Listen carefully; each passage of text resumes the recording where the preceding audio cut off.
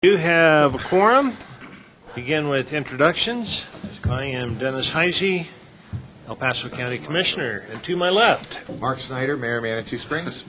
Rob McDonald, Pikes Peak Area Council of Governments. Don Knight, City of Colorado Springs. Joel Miller, City of Colorado Springs. David Turley, uh, Mayor of Woodland Park. Keith McEvery, Mayor, Town of Raymond. Jim Moore, representing Military Affairs Council. Travis Easton, Mayor of Monument. Jim Dahl, Public Transportation Rep. Mark Dowaliby, Park County Commissioner. Norm Steen, Teller County Commissioner. Andy Pico, City Council, Colorado Springs. back to Rich. Rich Muzzy, PPACG. Kate Hatton, PPACG. Wait a minute, wait a minute. Can you kind of tell us what you do at PPACG? You don't know by now? Rich Muzzy, Pikes Peak Area Council of Governments, Environmental Program Manager. Kate Hatton, Pikes Peak Area Council of Governments, uh, Military Impact Planning Program, and uh, Peak Military Care Network. Beverly Mayeski, Financial Manager. Dallas Jameson, Senior Policy and Communications Advisor. Craig Casper, Transportation Director. Jim? Chairman of the RAC. Jim Godfrey, Chair of the CAC. James McMurray, Marshall Day, supporting Air Force Base Command. And Newman, Air Force Base Command. Tom Kassawara, Development Services Director for Monument and Chair of the TAC. Victoria Chavez, El Paso County. Randy Pettis, Red Region Two Planning. Mark Andrusita, President Engineer. That's next, uh, next month. And Ella Silverkey. Thank you. So if you're representing Keith next month. Moving on, agenda approval. Any changes to the agenda? Do we have a motion to approve? So moved. Second. All in favor, say aye. Aye. Opposed? Agenda is approved. Public comment. This would be the time when anyone in the audience could just, could uh, bring before the board an item not on the agenda.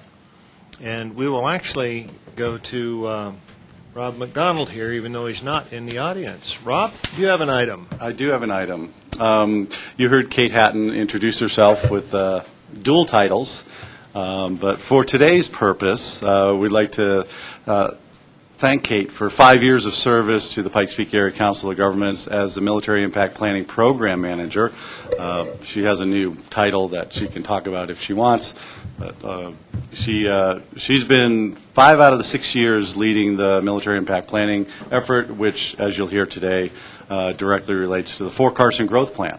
And when we looked at uh, five years clicking off extremely fast, um, I think Dennis and I both said, what, five? How'd five years go by that fast? And we'll let Kate comment if she wants to, but we want to uh, honor her with uh, a plaque honoring that achievement and also uh, uh, a new notebook so she can start on writing new notes on her next five years. So Kate, thank you so much. Mayor Turley. But you know, Kate can get 10 years' worth of work.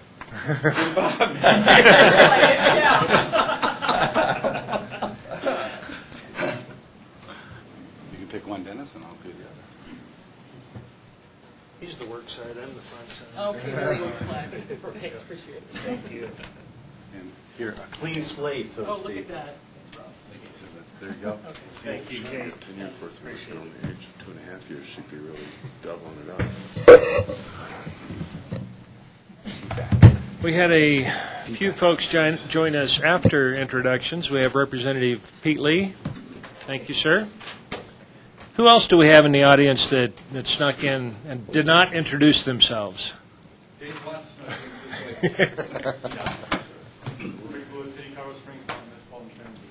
Thank you. Any other public comment items? Seeing none, item number four is the consent calendar. Anybody have a reason to ask that any of these be pulled off the consent calendar? If not, do we have a motion to approve? Oh, we do. Mr. Knight. Before we, I have a question, whether the minutes need to be pulled off or not, maybe clarification. But in there, it said, uh, City Council Spring Council Member Don Knight moved to extend the MOU for a period of one year. The motion you carried unanimously, but then to develop a framework to be back, be brought back in one year. Uh, Do we have a status update on whether the MOU got countersigned by CO CODT? If it did not, I, I kind of hope the process, I- I don't remember saying, you know, come back with a new plan in one year as our second motion. It was come back, I thought it was a little bit faster than that. Uh, Yeah, I think that's a good clarification, and uh, we can ask CDOT folks. I do not believe it was signed. I don't think the MOU that you sent forward was signed by CDOT, and I'll look to Craig if he's heard it, it was. Uh, What the Director of Planning for CDOT told me uh, via email was they were going to put it on the July Commission agenda. So it's likely pending for their action, and they meet, I believe, next, next week. But overall, I, whatever the new MOU is going to be, assuming the, the current one is not extended. I- My intent last month was not to take a whole year to go do that. Right. Hopefully get something faster. Uh, And I think it will be, uh, when we report on the State Transportation Advisory Committee meeting. There's a meeting after that, this Friday, that talks about resource allocation.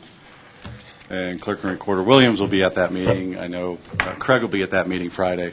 So that's going to start the process, is trying to figure out the resource allocation for transportation funds statewide. So that starts Friday.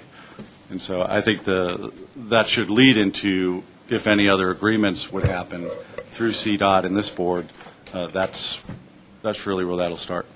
Okay, so if we can amend amendments of B that it, where, that it's not one year to come back with a new MOU, but as soon as possible, then I move, we approve the consent calendar with that, uh, that amendment. Thank you. Any other comments? All in favor, say aye. Aye. Opposed? Motion carries. We have been joined by representative from the city of Fountain, Councilmember Sharon Brown.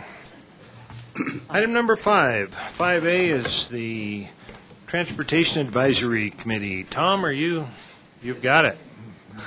Good morning, I'm Tom Kassawara from Town of Monument, uh, recently appointed chair, once again, for the TAC. Um, But this is the first time I've been able to address the board, because last time I was chair, we didn't do this. So it's my first time, but I'm not nervous. Um, We we had a fairly, um, fairly good meeting um, last month, uh, a lot of informational items more than anything else. Um, we talked about the uh, Unified Planning Work Program.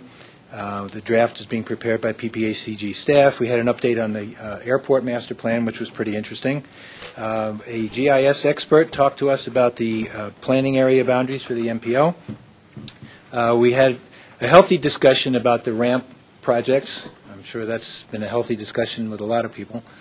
Um, And on the NHS as well, which is a national highway system. The- The uh, we're at the point where the Federal Highway uh, Administration is going to choose their uh, preferred roads to be on the system. Uh, We've given our recommendations, I- the board has as well. Um, We had a a long discussion about whether or not some additional roads can be put on by the member entities that um, CDOT see uh, fit to put on the list, and uh, several of the entities have done that. I know the county has as well. Um, So we'll see where that goes. There'll be some more discussion on that for sure. Um, We talked also about the uh, potential ballot initiative.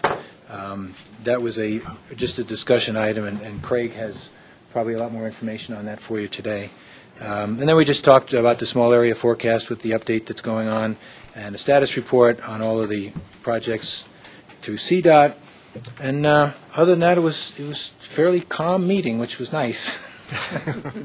We usually have calm meetings now. We, uh, we had some, some raucous things when we were choosing projects um, a year or two ago, but um, everybody um, cooperated at that time, which was nice to see. All, all of the, uh, the entities, the Springs and the county and, and the smaller towns sort of worked together to get a, a good variety of projects into TIP. So we're all working together pretty well and uh, hope to continue to do that. So if you have Thank any you. questions, I- I can for answer. Tom? Appreciate it. Okay, thank you. 5B is Community Advisory Committee. Jim Godfrey. Good morning. I'm Jim Godfrey, Chair of the CAC. Um, Nothing much to add. I just wanted to update you um, on in in our minutes, item number 15, committee members. Um, Our membership committee did interview two folks, um, but just did not get an opportunity to get ahead of um, the timeline for submitting to this board.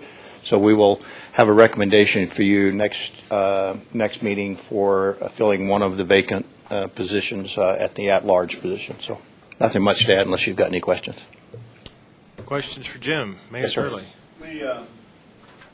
We, uh, for the consent calendar today, Corner for that. go about the council meeting up in Woodland Park, we have a new member on the, on your board. You did, and, Glad to have that. and she, she attended last meeting. We We're glad to have her, and ha- thank you for doing that, as well as El Paso County. Um, We had the new member as well, so thank you for filling those positions. They're important to us. And us. Thank you. Item C, Regional Advisory Council, Al Williams. Welcome. Al does his best impression of me. Oh, oh, sorry. Uh, I'd like to draw your attention to one item on the uh, report. We met on June 27th, and item number six, um, in the spring of the year, the State Unit on Aging provides to you and to us the approximate funding that's going to be effective July 1st. At about the same time, we have the forum for all of our providers who come and provide us their information, what they've done for the year, what they expect, what their expectations are, and what their needs are. And so about the same time, we're looking at requests from our providers and trying to adjust a budget that the State Unit on Aging expects to be turned around very quickly, so it makes it a difficult situation for the RAC and the Technical Review Committee to do all this at once. So a su- suggestion has been made that we adjust our schedule to allow our providers to come in other than that one time a year, um, and we'll look at that proposal at our upcoming meeting on July 25th um, to see if that works. In other words, to allow providers to come during the year and not just during that crunch time when we're trying to respond to the State Unit on Aging with a budget, at the same time looking at requests from uh, our providers. So we hope that will be a better system to uh, adjudicate our response back to the State Unit uh, by having prior information from those providers, and that's what we'll be looking at at our meeting on July 25th. Uh, On the 25th of July, we'll be meeting in Bailey, and I know all of you are just raring to go, so we'll have a caravan going to Bailey, Park County, for our next meeting. Very good. Questions? Thank you. Appreciate it. Suggestion, Yes, eat at the Cutthroat. Okay. Thank you, we'll do that. Cafe, yeah. Remember always to check with you before we go. Thank you. 5D is the Arkansas Fountain Coalition Urban River River Evaluation. I have to That's shor- Muzzy. I have to shorten that. Um, I'll be providing the update um, for the AFCURE meeting.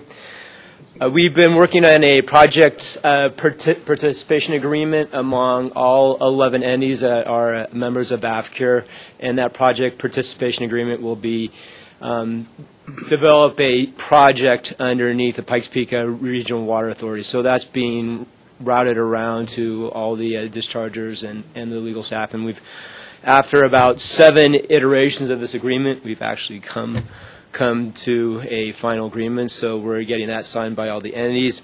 With regards to a recap of the Arkansas River Basin hearing, I'll be doing that as agenda items 7G, along with um, next steps for AFCURE. With that, are there any questions? Questions? Thank you. Thanks.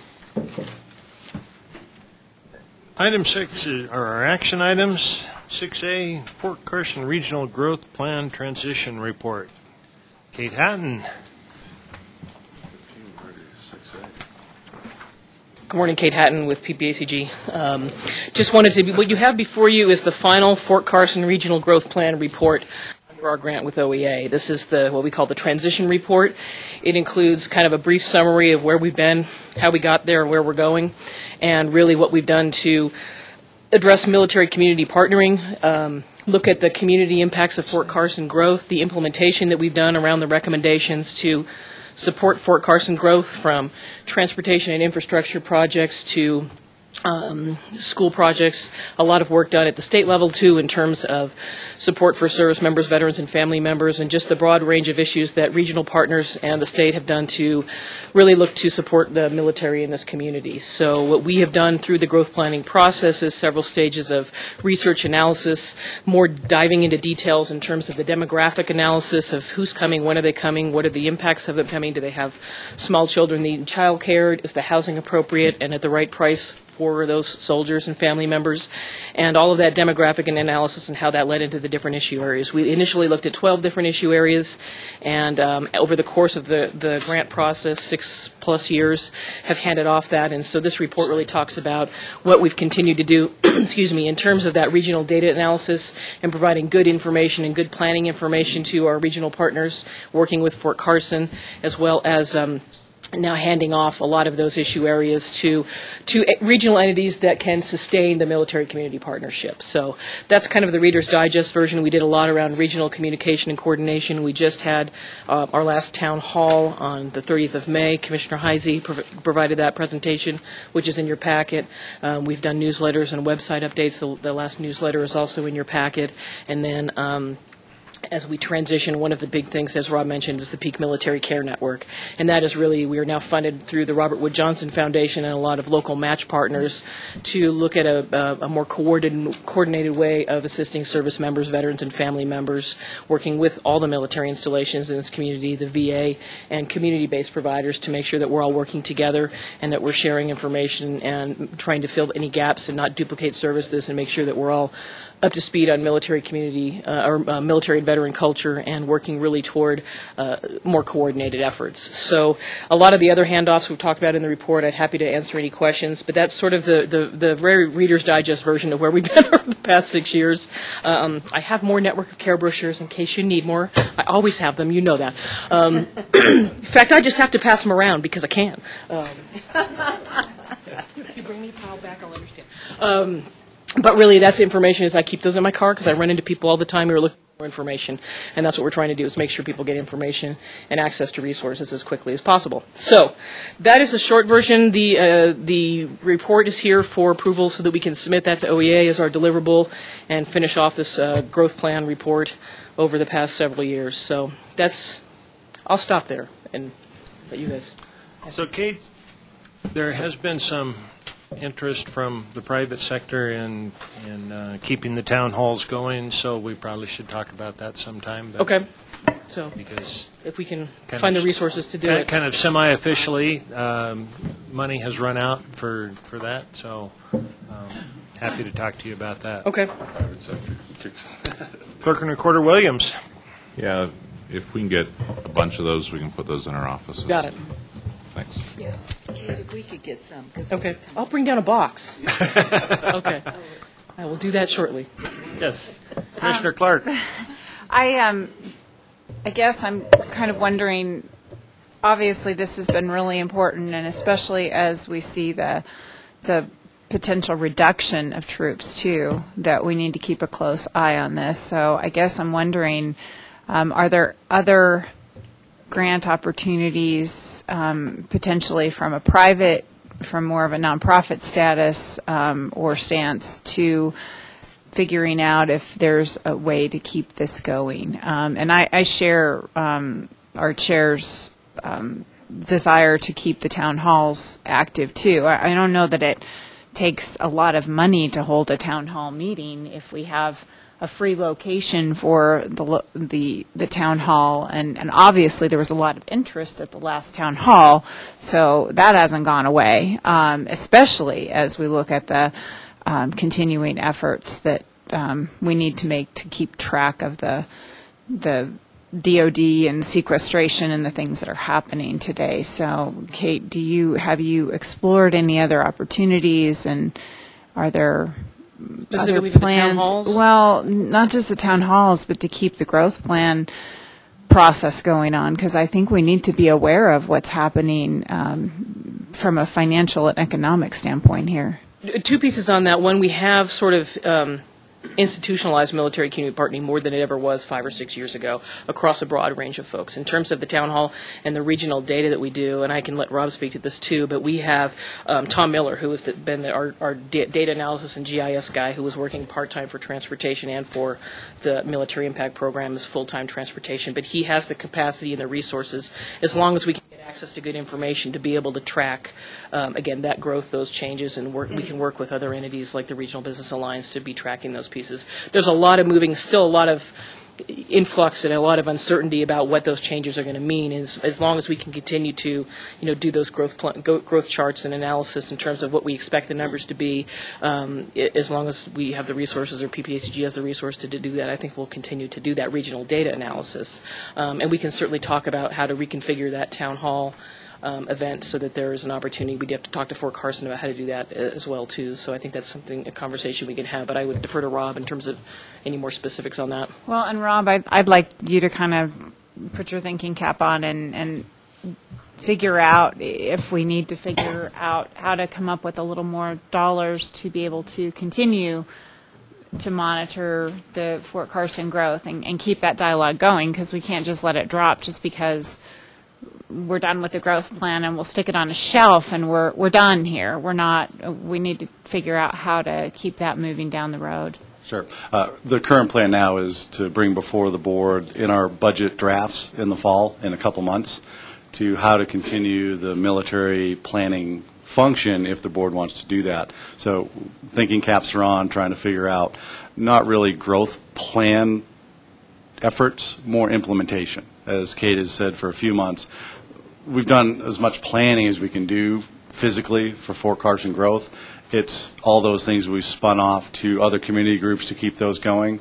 But the data collection and other things we'll still do. We- We'll introduce the topic of broadening it. Uh, Later on your agenda, we're going to talk about military impact on, the- at this board level. They're already at your committee levels. Uh, Part of what you just approved was the Air Force getting on the Transportation Committee. And so I think everyone is there. So we want to broaden it not just to Fort Carson, but to all the military impacts to the region and how that's done, because we have the alliance and the, the MAC, and Jim represents them, whether they change or not, or what their mission is going to be, how that interacts with all of your local government efforts, the business community efforts, and certainly the Council of the Governments. So we're, we're, we're already working on trying to figure out how to put that into our program. At a minimum, and Kate's exactly right, our transportation planning program looks at data, looks at growth for the next 25, 30 years, and that includes the military, all the bases. And so that's already embedded in what we do. We're, we're going to explore how do we do more of those things. But we don't want to do duplicate what the local government's doing, or the chamber is doing, or, I'm sorry, the alliance is doing, and some of the other folks. Well, I, I think if I might, Mr. Chair, just um, I, at least this commissioner believes that from a military perspective, we need to look at all the installations here, not just Fort Carson. Um, although Fort Carson has very unique needs that um, many are, are much more human services related to, and, and that's part of what PPACG does as well with uh, some of the other agencies that, that are that are under us. So um, I just I think we need to figure out, and I'm glad that you're I'm glad that you're looking at that um, because it, it, it is going to have a major impact on our economy. No doubt. Mayor Turley, and, and then we'll go to Clerk and Recorder Williams. Yeah, just a, a quick comment and, and going through the executive summary and the, um, nothing for change, but, you know, it's, it's, for example, the, the graphic on uh, page five and the charts shows, um, you know, El Paso County. I just want to, for the record, make a statement, you know, with the folks that we have in Teller County and Woodland Park, um, we're, we're pretty, uh, we have quite a few folks up there. I don't know the exact number, but, um, I mean, just last night, I, I am very involved with youth baseball in Woodland Park, and one of our coaches is a soldier at Fort Carson, and his sons live up there and play, and we have quite a few of those folks uh, in Woodland Park and out in Divide, and I'm sure other parts of the county too. So, you know, we, we, we work real hard um, uh, with Fort Carson and, and when they're doing uh, orientation events and things to make sure that they know uh, where we're at and what we have to offer and And it's, it's, it's kind of a unique thing, and there's a lot of soldiers that come that like that small-town atmosphere, um, literally less atmosphere, that we have in Woodland Park. So, Are you talking about that thick air you got down there in Woodland Park? And m- my apologies for uh, not including that in the executive summary, but the full report does have maps and information on all four counties that were touched by the growth plan, El Paso, Teller, Fremont, and Pueblo. So that is all in there, and that, that's the map. And I, I suspect that, that Woodland Park offers one of the few environments, mountain environments, where, where a soldier could be stationed and actually live in the mountains. So uh, probably have some folks taking advantage of that. Clerk and Recorder Williams. Move approval of item 6A. Second. Any further discussion? Yes, Councilmember Knight.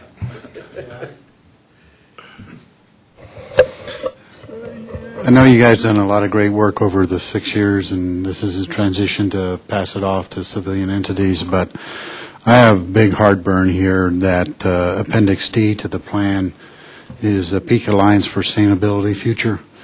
Um, I mean, we talked about that at the last meeting. We tabled it because it was the time of the fire and very little county representation, but as the city, we had a chance to look at that. Um, there's there's a lot more in there than just you know picking up the the help to Fort Carson. There's a lot of goals and objectives in there. By 2030, the city or the county or the region will have some goals that uh, you know are financially unconstrained and uh, so probably physically unrealistic. And so approving uh, approving the minutes if, or the plan, if we are in essence also approving and giving credence to the full up sustain Peaks Alliance for Sustainability Future Master Plan for 2030, I, I can't support this. Uh, we're just, you know, it's it looks to be. I'm sure it wasn't no malice intended, but it looks to be a backdoor attempt to uh, to get that sanctioned by this group without a full uh, hearing and. Uh, able to to cuss and discuss uh, the pros and cons of that. If I could address that briefly, that what this report really does is say this is a transition it's not the PPACG product at this point, it's transitioning to a community entity. And it's the community entities to work with all of the local governments and regional entities to figure out what the next steps are. I could probably let Rich talk more detail about what the specific plans are, but really this is about some work that was done around how does the regional unit support it, and then it's a transition piece. So the issues about what was in that plan and the next steps and PPACG's role in that is really not part of this project. I think that was tabled for the next month or the month after. So that's that's that would be the difference, and I don't know if that causes you know any less concern for you now. But I just wanted to explain the difference, being that it's really about transitioning it to another same way that we're transitioning excuse me, transitioning the, the uh, Peak Military Care Network and um, Alliance for Kids, working on to, um, child care issues and those sorts of things. So it's really, this is what we've done so far, and we're moving it forward. Our We haven't- outside. I haven't had Con- it Continue on. With, um, and I apologize. I just with council meetings this week and everything else, we haven't. I haven't had a chance to to go through all four appendixes. You know, I went through the main thing, but all four appendixes. So I don't know if you're including it as reference material only, or if you're including it as uh, as an endorsement, and this is the the path of the future. Because if it's the latter, then then no, that doesn't put my fears aside. Councilmember Pico? Well, I'm going to echo that. There, there are things, you know, I did read that particular Appendix D in, in uh, considerable depth, and there are things that I will not only never support, but I will actively oppose, you know, un- until they, until you bury me. Um, So there's, that concern is that if, if we're approving this transition plan, that we are not, by any stretch, adding a support to that particular uh, 2030 plan. That That's is my- not in the that's my concern. recommendations. It's- That's not in the recommendations. It's really a matter of, it would be the Peak Alliance for Sustainable Future to take on this issue in the future, so. Well, see, that's, yeah, that's who I okay. don't want to take any part of a transition plan, because the, pro- the product that they produced is something I absolutely cannot support and will oppose. That, that's my concern. Rob, did you have a comment before we go? Yeah, uh, just to be clear, the the reference, uh, and Kate was right, the- the uh, piece of that report in the appendix is already transitioned. The, the March 12 version of that report is not owned by anyone but the Alliance. They may have changed their name. So the Alliance is a separate entity. Call it School District 11. If you have comments, direct them to them for their plan, because they're the only ones that have adopted that plan. That plan was spun off, or that, that plan was part of the Fort Carson Growth Plan, but it was spun off to that separate group, like Kate said, to the Alliance for Kids. This board doesn't endorse what the Alliance for Kids does with their efforts that were spun off from the Fort Carson Regional Growth Plan, or the security, or the school districts, or any of the other healthcare things. You know, Peak Military Care Network is now with the National Homeland Defense Foundation. So that's probably, that's in the report too, that's been spun off to another entity. So it's not our report anymore. So the Alliance has a report. If you have comments on the Alliance, and if the Alliance comes to Colorado Springs, El Paso County, whoever they go to, you can talk to them if they have any requests of any of you, or the business community, or the nonprofits, or Fort Carson, anyone that's doing something sustainable, the Alliance is taking the lead on that effort. So your acceptance of this transition report doesn't bind you to every and any transition that we've done from this effort out to the community side. So I hope that, that makes sense. Clerk and Recorder Williams? I, I was just going to suggest as, as if, and I forget who seconded the motion, uh, just as a clarification, that the approval of the uh, transition report does not uh, necessitate an approval of any of the accompanying appendices. And I think that addresses hopefully the concerns. Does the seconder agree?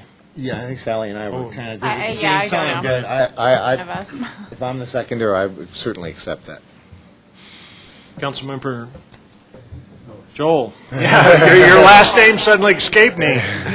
I I just, uh, you know, want a clarification, because in Appendix C of the Growth Plan Summary of Recommendations, it does specifically say that um, to be working with the, co- the community to adopt and implement the goals of the strategies.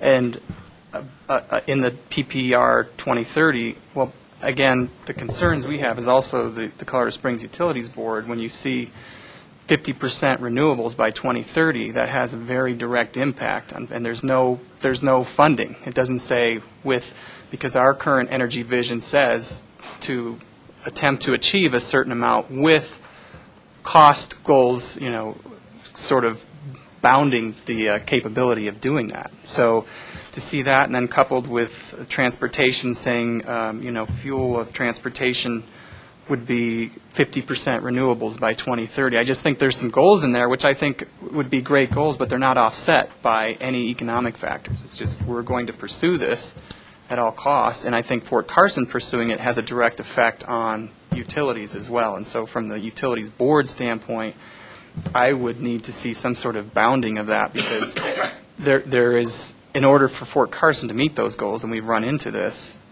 it's sort of, it's not just Fort Carson saying this is our goal, it then applies pressure to utilities to make changes to our, um, uh, to our platform and what we're able to offer, which affects all ratepayers, so. And I would say that ultimately, any of those goals and any of these implementation pieces are really up to who is that leading entity. Is it Fort Carson? Is it Spring Utility? I don't think PPACG or the Growth Plan or Peak Alliance would be able to dictate or mandate to Black Hills Energy or to Springs Utilities or to PPACG's transportation program or any program, this is what you're required to do. That was never the intent, and, and hopefully that would never be the intent, but to say that this is um, is this something that should be pursued, and if so, how? So, and again, that, at this point, is now outside of the purview of the growth plan, but up to the communities and the partners involved in the, um, in the sustainability efforts to do that. So, um, there was never an intent to say, this has to be done by a certain time. It isn't fiscally constrained. It isn't, it's, again, it was done as, could this as a region be something, a goal to strive toward? And again, I would defer to, you know, Rich or others who have been more involved on the sustainability side of the equation. I've been more on the peak military care network side of the equation. So, but um, I, again, there was never the intent that this would dictate to any particular entity, you know, the city of Fountain, city of Manitou, El Paso County, that this is a requirement. Let me, let me go to Commissioner Steen, and then we're going to go back to Clerk and Recorder Williams to restate his motion, because we've, we've gotten away from the, uh, the item in front of us, and we're debating the, uh, the goals and, and two separate items there, uh, so. Yeah, I- I, share Colorado Springs' uh, concern about the Appendix D, uh, especially the transportation and energy goals. And I would, I would just suggest that not, not only do we not uh, endorse or direct, not, not uh, specify directive language, because the 23rd plan does not, it does specify this is non-directive, but we also withhold any type of endorsement of it, because I, I share a similar concern, not only from Colorado Springs Utilities, but um, I mean, 50% renewables on all transportation sources is, I mean, it's- it's beyond imagination. I would even, even get there scientifically, much less financially, so. Short comment, Dr. Null. Uh, I would just uh, add to this general discussion something for your consideration, and that is, it seems to me that like entities did, and maybe still do, in visiting the bases, we ought to have the general or his appointee come and talk about the transition to this group. I know we're looking at what we've been doing, but this is one chance for them to get to interact with all the entities in the community.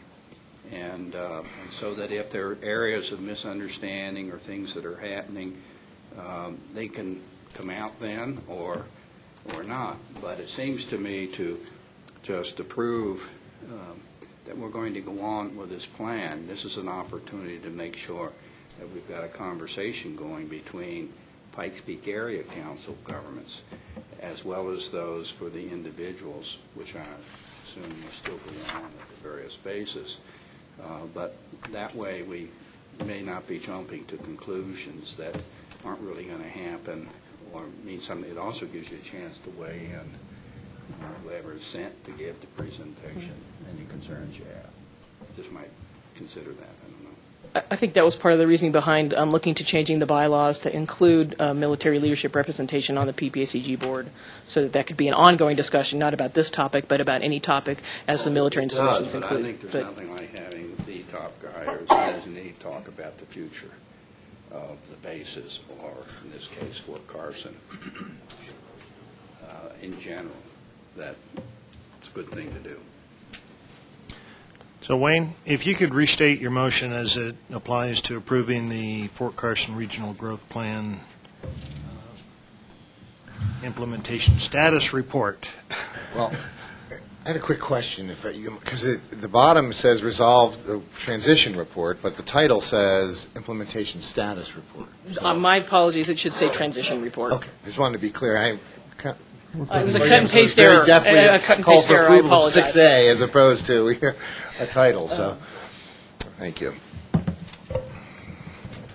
So the correct term is, Fort Carson Regional Growth Plan Transition Report.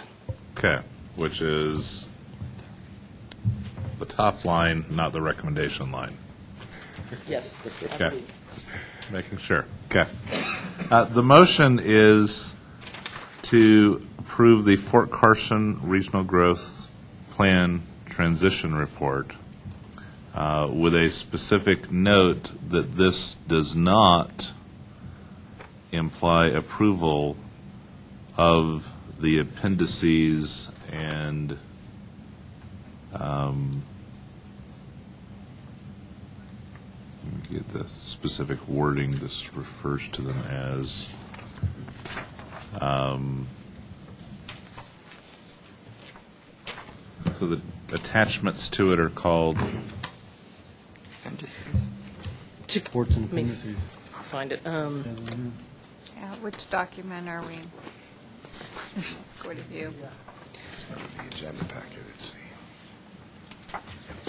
If I might, Mr. Chairman, um, I, I'd just like to know, too, it- I I think it might be helpful for us at a, at our next meeting to take a look at the concerns that have been brought up today specifically and provide some feedback, because it's great to oppose whatever it is, but if we don't provide some meaningful feedback to the entities who will have control over this, then we really aren't making any impact in that area. So um, I, I just, I think, um, even though this today is, is just the report and the resolution that's fairly benign, um, I, again, I don't think we want to just give tacit approval or to give the impression that we're endorsing something that others aren't comfortable with. So I'd like to get some more specifics about portions of, of what have been brought up today.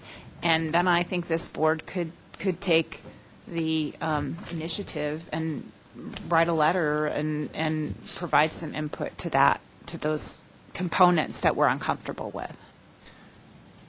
We'll, we will discuss that further offline. Um, I understand there was some discussion about that last month when we were not here. We weren't here. Yes. To to clarify, Let- the, I just want to clarify what the appendices were. Good, yeah, I'd- I'd like- Sure. Append- There are four appendices. Appendix board. Appendix A is um, the the newsletters since the last growth plan report, so um, just uh, updates on what the growth plan has been doing. Appendix B is maps, more detailed maps, GIS maps related to um, Fort Carson impacts in the community, that number of veterans in El Paso County and the other counties. Um, Appendix C is the amalgamation of growth plan recommendations across the six-plus years of the report, and Appendix D is the Peak Alliance for Sustainable Future Business Plan. Okay. So it's appendices C and D that there are issues with, is that, or is there? I'll defer to Mr. Well, and to me, Appendix C refers to D. Right, In the right. goals, so I'm just checking, A and B, I don't have any issues. okay.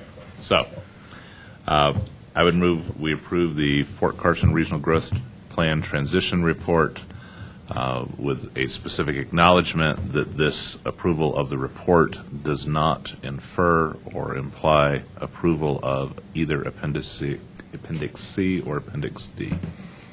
Any further comments on the motion on the table? Councilmember Knight. Mr. McDonald said, I mean, there's a lot of different people that are alliances that are spun off from this and marching forward. The Kids, Network for Care, none of them are highlighted with their own separate appendices. The recommendations, if, if we go with what uh, Clerk and Recorder said on that note for C, but I just assume have D completely removed from the report.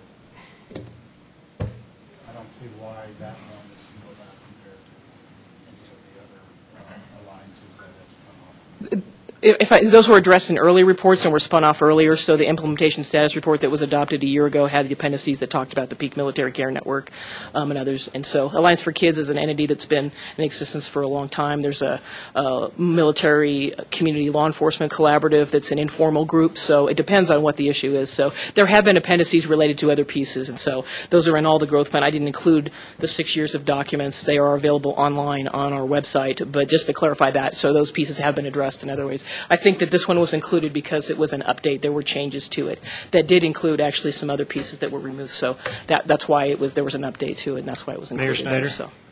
Oh, I just want to clarify that, that we don't have that before us on this agenda. The Peak Alliance has pulled that, that collaboration that we postponed last month. Right. And they'll be coming back in the future, so we'll have an opportunity to discuss that. It it was just a collaboration, no fiscal impact. Right, they, they were here to provide an update of their Mhm. efforts, or, ec- or are now external to PPACG. So they may or may not come back in the future, they may come back with a different request. But they're not coming back to ask this board to accept their already adopted plan that was done in March 2012. So they don't, my understanding is they don't want your approval of their year and a half old plan. So that was where they were last month, they're not there anymore. And, um, But they're, but that's where they are now, and so. So, They- to- back to the motion on the, on the floor. All right, You're One- there? One, one little Okay. comment there is that, you know, Manitou was proud to, to make a small donation to the Alliance. We support sustainability, and uh, I understand all your concerns. I don't see how adopting this p- plan requires anything of any entity, including utilities, to do anything. Okay, I, I- so I think we'll have an opportunity down the road, if, if the sustainability is something that, you know, you guys have a real problem with, I think we should take that up and, and down the road and decide as a board how we want to interact, if at all, with the Sustainability Alliance. But um, I, I uh, would second Commissioner Williams, or Clerk Williams' motion. I don't know if we got that officially done or not, and call the question. We've, uh, we were asking him to restate it, so he'd already made the motion. Mayor Easton? I was going to second the motion and encourage that offline discussion, and we can move on to make sure our colleagues are taken care of and those concerns are addressed, but I want to second the motion and move forward. Final comment before we vote? Call the roll. All those in favor say aye. Aye. Opposed? No. Motion carries with Councilmember Knight voting no. Got that, Jacqueline? Thank you. Thank you. I'll bring more brochures down, though. 6B, El Paso County Municipal Representative to the Metro Roundtable. Rich, do you have this one?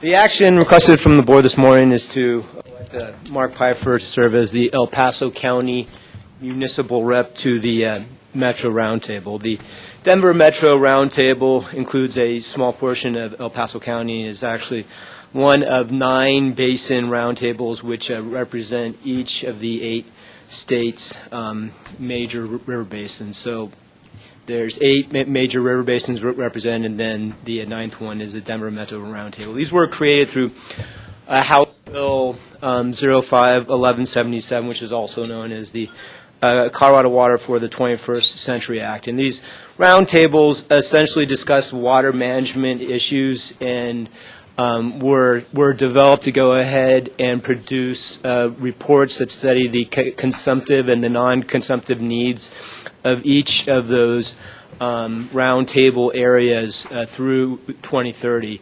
And these roundtables include representatives from the, the, the counties in, in, uh, in which uh, the boundaries are set, and also um, representatives for the, the, the cities, um, kind of one city represented for all, all the counties. Um, and with that, Mark has been involved as a Arkansas River Basin um, Roundtable rep. He's manages the SDS uh, uh, pipeline for CSU. Um, he's actually former director of uh, Colorado Department of Public Health and Environment Water Quality Control Division. Um, and he's actually serves as a representative to the Colorado Water Quality Control Commission for our area. Um, with that, I'll take any questions. Questions? I do. Commissioner Clark? Um, You didn't, we didn't get a list of who's already on the roundtable, um, other than obviously our vacancy that's for our county. Who else is, is on there? already? On the, on the. On the big, on On the Denver on Metro one? committee. Mhm. Yeah, they're, they're really, um, I think, I'm trying to remember who represents El Paso County, but because El Paso County is just a small, um, portion of the Of Denver Me- basin. uh, Metro Roundtable, there's just two reps from area, one from El Paso County. And I guess I'm just wondering who else is on that committee. um, Yeah, and, and I'm not sure, I mean, all, all the other folks that re- represent um, the, the cities and, and the counties in the De- Denver metro area, and there's re- representatives from ag, uh, representatives from, from the Colorado Water. Board? Water Conservation, there's, there's over, there's over 30. Okay. We we can email that out to the board. Repre- re- representatives, I- yeah. I don't know if the whole board wants it. I'm just interested as who's on there. Yeah, there's, uh, each, each of those roundtables has a list of, uh, of the representatives, so that- that'll be easy enough to get to. Okay. Councilmember Miller? I just wanted to, according to the letter, there, it says um, that there, since, since it was established, there has been no official El Paso County municipal representative, and I think that was one of the things they were trying to, You know, I was, I don't know if that's true or not, but that's what the letter That's has in it. is it? I, I was kind of hoping Wayne would be here because I thought we had this discussion about the time it was formed, and I thought we actually had a representative. It might have been for the Arkansas River Basin roundtable. Oh, 'cause we- It, it, it was for Denver, uh, yeah, I'm, I'm not sure, no one's been willing to go ahead and, and, and serve. That's my, m- my understanding, no one's been willing to take, take that role on. Okay. uh, in, in, until now. All right. Or we just, It, it, we do have just a small portion of the county that And the- drains yeah, into that's that just it. I basin. mean, it's- Something up in the Palmer Lake sometimes we area. don't know I there's an remember just how that You worked. can't fill it. Do we have a motion to approve? Move approval. Second. Any further discussion? All those in favor say aye. Aye. Opposed? Motion carries. 6C, Board Bylaws Change Proposal. Rob? I got that one. Um, As was alluded to in Kate's report, uh, a specific recommendation out of the Fort Carson Growth Plan was for the board to consider additional membership or how to deal with all the military bases. Uh, In your bylaws now, you have obviously uh, the MAC representative, and when we looked at the bylaws, we even found that they weren't really even supposed to have an alternate, but we haven't really enforced that uh, particular bylaw condition. But we thought staff-wise, uh, again, this was on your agenda last month, we we pushed it to this month because we had a lot of folks out. Uh, The request today is for the board to give direction, uh, and in the memo, it talks about either no action, uh, have staff go look at the bylaws, come back with proposed motion, have your executive committee, which are the officers plus myself, or another subcommittee of this board, to look at the bylaws to see if you want to add specifically military representatives, or look at some of the other things. Uh, Right now, you have an air quality uh, commission representative, but you do not have a water quality representative from the state. So we would think you could look at that too, if you wanted to look at that or any of the others. Uh, Also talks about in the memo, uh, future regulations from federal transportation, we think will require some sort of voting presence by the uh, area transit provider. Now, we have two here. One is Mountain Metro Transit from City Car Springs. The other is in the city of Fountain. And the federal law is not clear yet. They haven't adopted. Does it have to be the operator of transit? Does it have to be, I think the only thing they've said for certain is not an elected official, which opens it to whomever would come to represent public transportation. Wh- So- Which is something of a problem for this board, because this board in the past has said only elected officials can vote. And and so, because the feds haven't come down with the definitive law yet, everyone across the country has different ways of doing it. Uh, The way this board has done public transportation uh, tie-in to this board action is, before the change of government in City Car Springs, the three city council members really control the budget and actions of the city transit. So they are voting members on this board. Now, going to a strong mayor form of government, the strong mayor has more of oversight of the transit uh, group and staffing. So if the board wants to look at the bylaws, we would suggest looking at ways to deal with that possible future federal uh, requirement, because they like to tie it to their transportation funds.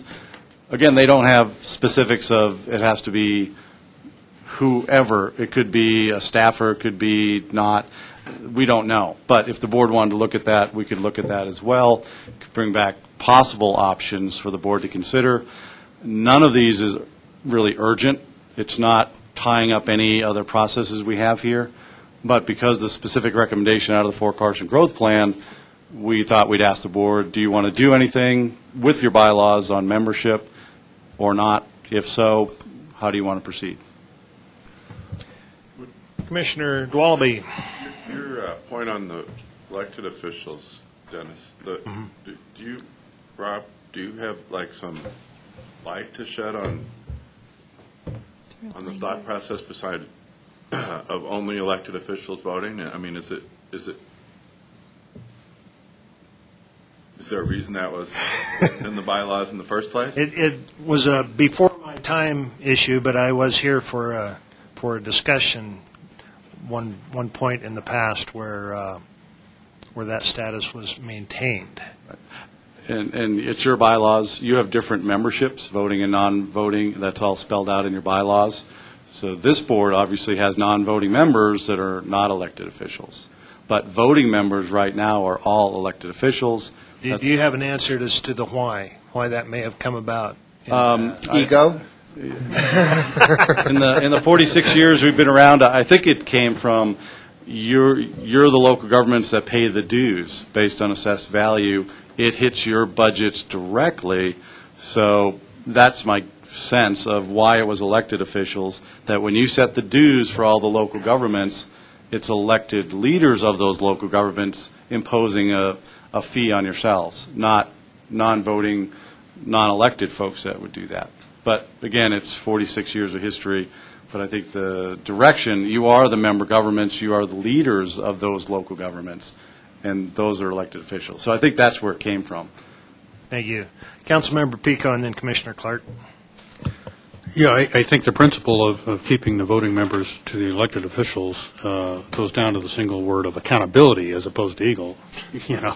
Uh, But the, humorously noted, but the, but the points that uh, made by uh, Mr. McDonald are, are exactly on point. It's, it's the accountability of those who have, are responsible for the budget and everything else. So if we start packing the board with voting members who are not accountable, then you lose control pretty quickly about where this, where the body is going. And so uh, we want to add a couple of advisory members who don't vote.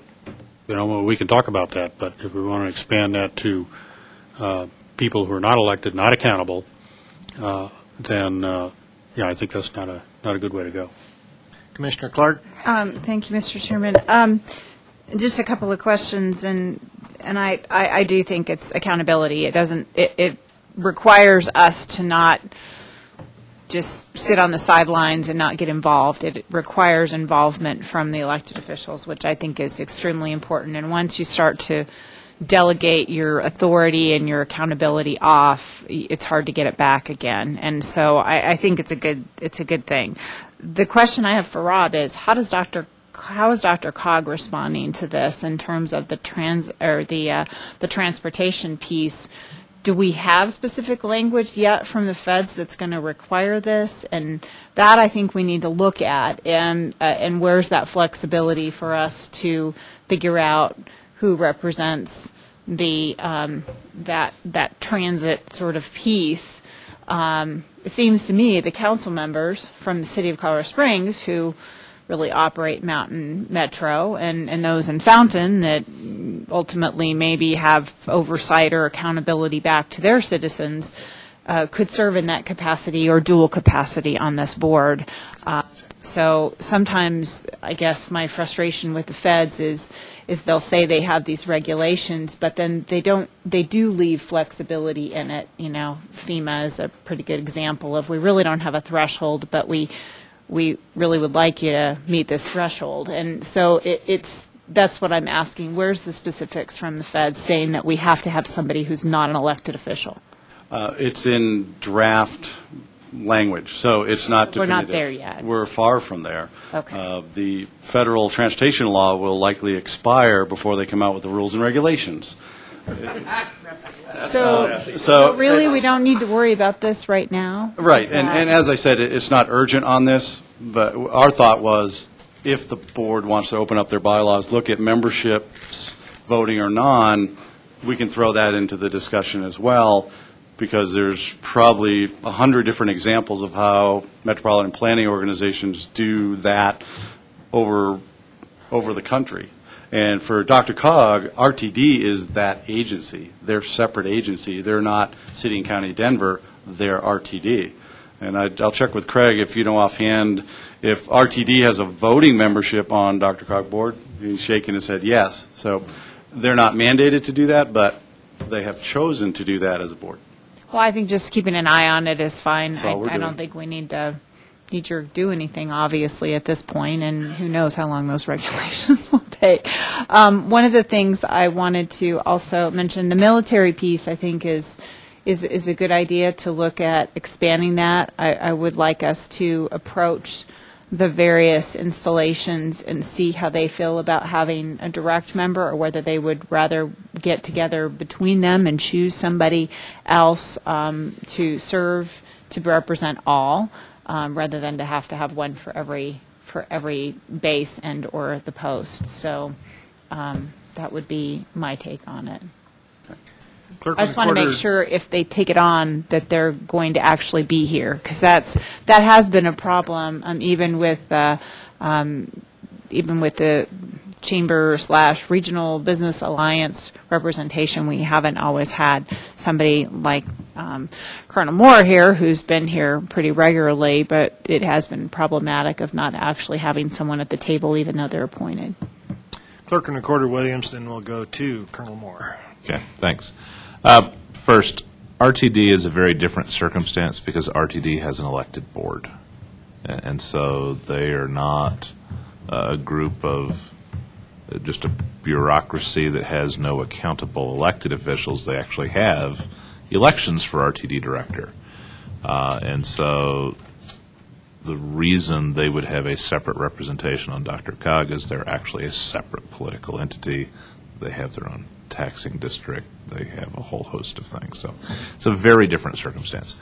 Um, The decisions made at this board level, whether it involves approval of a sewer plant, whether it involves uh, ranking of transportation projects, um, those decisions, whether it involves whether you have to get, and most of you weren't on the board when we did this, whether you have to get an emission for your test for your car. Uh, Those are decisions made by this board, and those decisions ought to be made by people who are accountable to the voters. And if the voters don't like those decisions, they then have the ability to go through the constitutionally provided recall procedures. Uh, It's happened with school boards and special districts.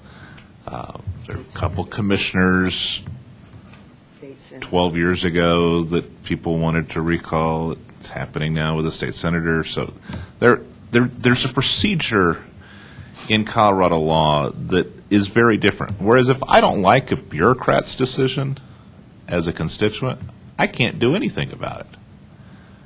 Uh, and and so I feel strongly, as someone who's been on this board for 11 years, eight years as a regular voting member.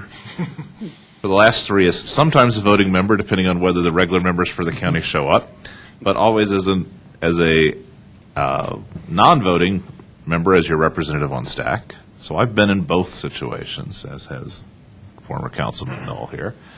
Uh, and Jim and I, in our other roles, get to give input. But ultimately, it should be the people who are elected by the people who get to make the decisions on this board. And I feel very strongly about that. Uh, It's not for ego, because I no longer am one of those people, except today, because Daryl's not here. Um, And those decisions are important. Now, having said that, if the feds do something, then we'll have to look at it. But I certainly don't think we ought to start adopting regulations based on the possibility the feds may or may not adopt something in the future. Uh, And so I, I guess my thought is that until someone comes forward and says, I want to do this, I don't know how aggressively we ought to pursue at all changing the current bylaws. Uh, I think as members of the public, anyone can attend and, and provide input um, on items that are on the agenda. If we get someone from one of the bases that wants to play a more active role than is currently being played, I'd welcome them. But ultimately, they ought to be an advisory member who can speak and say things, but ultimately, the elected officials who are responsible to the voters should make the decisions. And beyond the work of a recall, the citizen always has the option of waiting until the next election. That's right. And many of the people here have had people run against them, and, and, and or have run against someone who was on this board at one point. Uh, and, and so that election process is the way for the people to make the decisions. And if, if we have to have someone who, if we're going to tell you you got to pay, pay twenty dollars every year because you got an old car, uh, then that ought to be a decision by elected officials. If we're saying we're going to do Cimarron and not Powers, that ought to be a decision by elected officials. Mr. Chair, can I make a clarification on the military side? Is that Short one? they would need to be they would need to be non-voting members anyway. They wouldn't be able to be part of a decision-making process. Okay. They would need to be advisory only. So that was just to clarify that. Thanks. Colonel Moore? Well, uh, She just took care of one of my observations. The, um, as a general over, overview, I think, uh, from my own experience, uh, a review of bylaws as a routine organizational uh, activity, I think, is worthwhile. Uh, And that's what I understand is, is really the question before. There's a number of recommendations in here, but am I wrong? There is a recommendation to go back and look at the bylaws if they are meeting the needs of the organization at this time. Is that The, the request is, does the board even want to do that? Well, If and so, here are certain things. You're right, I mean, it's, it's healthy to do that now and again. The one specific recommendation from the growth plan, that was the impetus to say, that would require a bylaw change. So if you are going to do a bylaw change, is that the specific thing you want to look at, or do you want to look broader? And there's a few things we suggested. So that, and that was my understanding, but I, I think as a general rule, you know, looking at the bylaws every three or four years or something is well worthwhile simply because things change in the environment you're trying to operate in. Um, Second to um, Ms. Hatton's observation, uh, I don't see any way you could have sitting, serving military officers uh, in a voting position in a political organization. So I think however you decide to proceed with that aspect of it, um, non-voting would be the only course of action from my experience. Finally, uh, and this is to Commissioner Clark's uh, uh, comment, there is an organization that meets regularly that's called the Area Chiefs of Staff. Uh, It is a group that meets under the auspices of the Regional Business Alliance, and I think it might be worth uh, approaching Andy Merritt over at the, at the Alliance to see whether that is a vehicle for getting the kind of counsel, whether the chief, area chiefs of staff would want to appoint a representative, as Commissioner Clark suggested, or whether that's a starting place for this kind of conversation about how you could have a more active voice from the serving military personnel. Um, The MAC, frankly, tries to be in a position and is- is focusing its current efforts on trying to be in a position of leveraging both sides of the equation between the military organizations and the community. What needs are there of the military organizations the community can try to serve, and what needs are there that the community has that we can find some partnerships in and try to um, facilitate improving in those areas. So we're not really in a position to be the voice for the sitting, the serving uh, units in the area. Thank you. Councilmember Knight?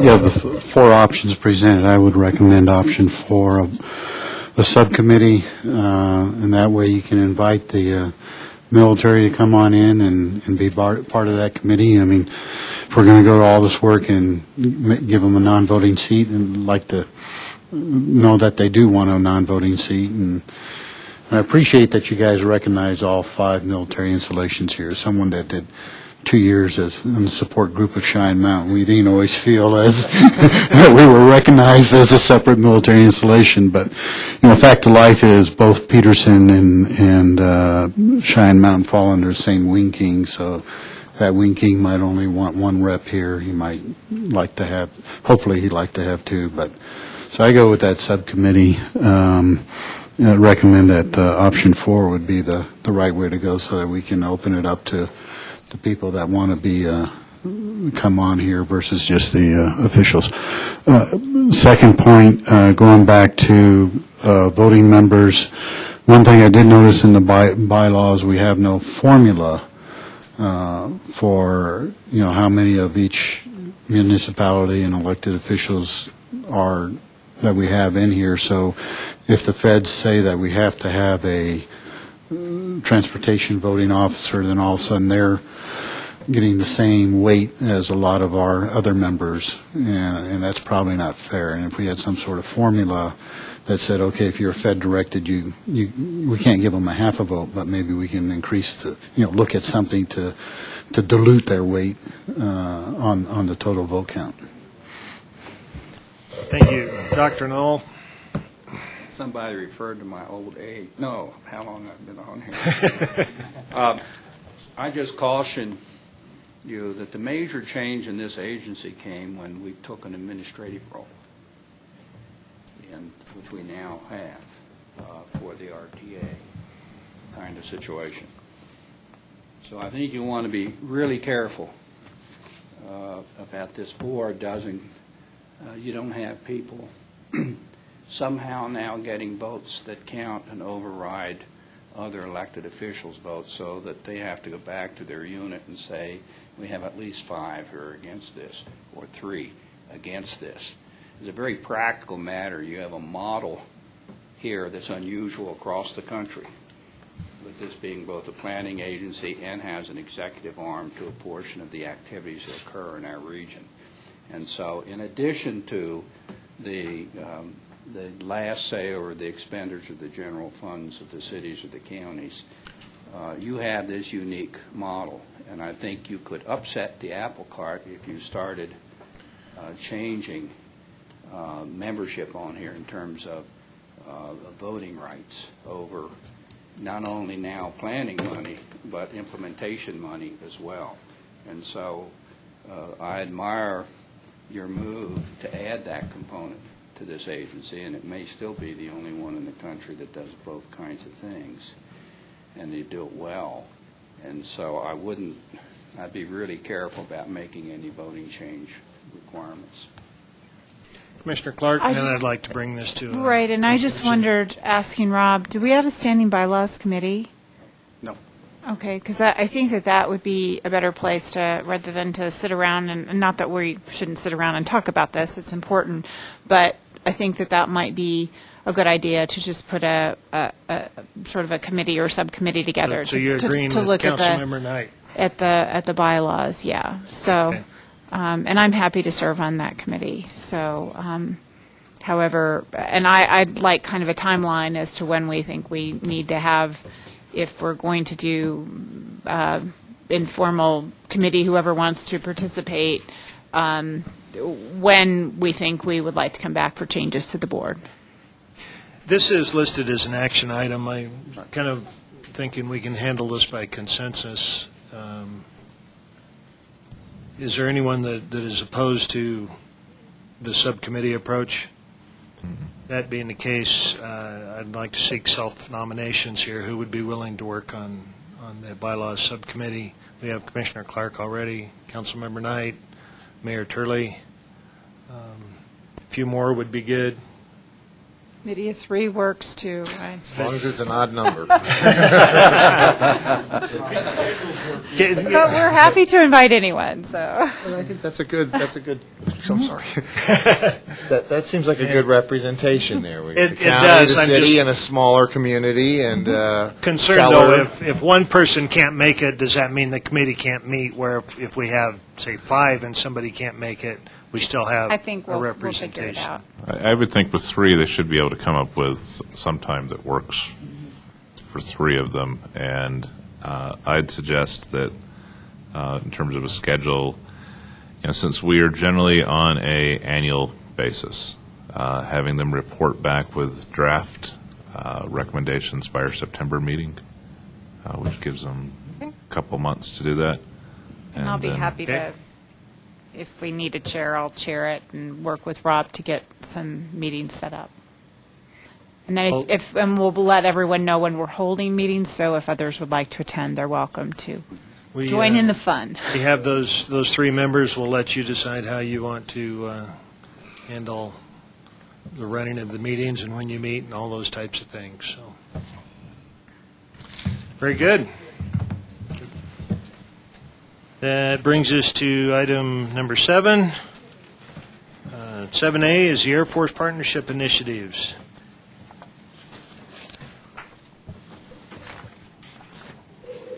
Good morning. And My who do we is- have here? I'm, I'm Lynn Newman from Air Force Space Command. I feel very grateful to have been invited to um, provide some information on some collaborative initiatives that we have going on um, with the community. So to return the favor, uh, as we're prone to do in the Air Force, I'd like to subject you to a PowerPoint slide deck. so um, let's see if I can figure this out. Figure it out. Okay, maybe we just need to. All right. And this, this really won't be too painful. It's mostly talking, but there are a couple of charts in here that will help me to articulate um, what it is we're doing. Thank you very much. All right. So we have um, two primary initiatives that we have um, begun um, in the last year.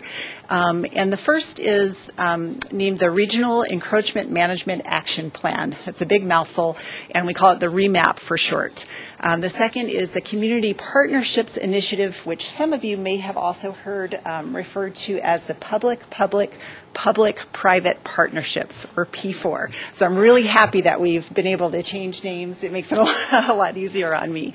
Um, but the, um, the overall um, purpose of both of these initiatives is to work more collaboratively with our communities to um, do efficient business um, as military installations and as good um, community partners. Um, so we capitalize on the relationships that we already have, um, and we try to foster additional relationships um, that help us to be good neighbors and good partners. All right, so the remap. Um, so this is a fancy slide um, that talks to what the term encroachment means. Um, and it's a really squirrely term. I'm not a big fan of it. I like the term compatible use. But basically, um, we are sharing resources um, with the community, and the community is sharing resources with us as military installations. And so, how do we work together um, to sustain um, a great neighborhood, a great way of life, and also to sustain those military missions um, that we're here to do uh, to support national security? So, um, to give you a little bit of a background, um, the Air Force embarked on um, the program Encroachment Management, um, which is also synonymous with sustainability, which I think is a little bit more common um, um, because we work so closely with Fort Carson in this community. And the Air Force directed all installations to do an individual encroachment management action plan. It's an installation complex encroachment management action plan, ICEMAP. Okay, so we went out and did these. And what we found in this area in particular, um, because we have um, several military installations, is we're always looking at the same things. And furthermore, we're always looking at the same resources and challenges that the community is looking at. Makes a lot of sense, right? And so, um, because um, as Air Force Space Command, you know, we sit here on Peterson in a headquarters, um, but we happen to have four installations in this area uh, along the Front Range, and so we were able to leverage that and ask the Secretary of the Air Force to let us experiment um, in looking at these encroachment challenges regionally. Um, and so that's how we came up with the remap. So the remap covers the six installations um, along the Front Range. Um, you can see from the chart that there's a lot involved in these six installations. We've got MOAs and ranges, training routes, um, operational areas. Um, we take up a lot of space um, and we ask a lot um, and we give a lot economically um, to our communities. And so, really, what this remap is all about is looking at how to um, to manage those resources properly. So, sir. We just had a question. What's Yes. a MOA? A MOA is a military operation area. Yes. You, you have a lot of, uh, a lot of So- former military in here, but not all of them. Right. So I apologize. I will try to break down my acronyms. Yes, ma'am. so please feel free to stop me. I'll try not to talk in my own language here. Um, so the remap is all about looking at those regional challenges and working with um, the Front Range communities to manage those appropriately so that we can do our missions and we can also be good neighbors. So, um, the topics of interest, having vetted this um, from, we started in December of last year. Um, and so we've gotten to almost a draft stage of what will become a final report. And the, um, the issues that rose to the top um, are not terribly surprising, um, but they're listed here airspace, um, energy, compatibility and availability, spectrum, urban development growth, and water, um, which would include water quality, stormwater, water availability. Um, so here's what we've done so far on the remap. Um, back in uh, the previous fiscal year, um, I'm sorry, the beginning of this fiscal year, um, we talked with, um, we scoped the project and then came in December and talked with um, some of the senior leadership from the installations and said, what are your mission challenges? You know, what is it that comes up time and time again that you're always having to work on? And so we got a, a good preliminary um, perspective on what to focus on. Um, then we um, did some brainstorming and we brought in the subject matter experts um, from the installations and also the community. So um, many mem- staff members um, uh, from the community participated with us, and we, and we had great support and, and um, really appreciate that. Um, but we delve further into these areas and others. Um, but as I said, the ones on the previous chart really bubbled up to the top. And we found out a lot of details.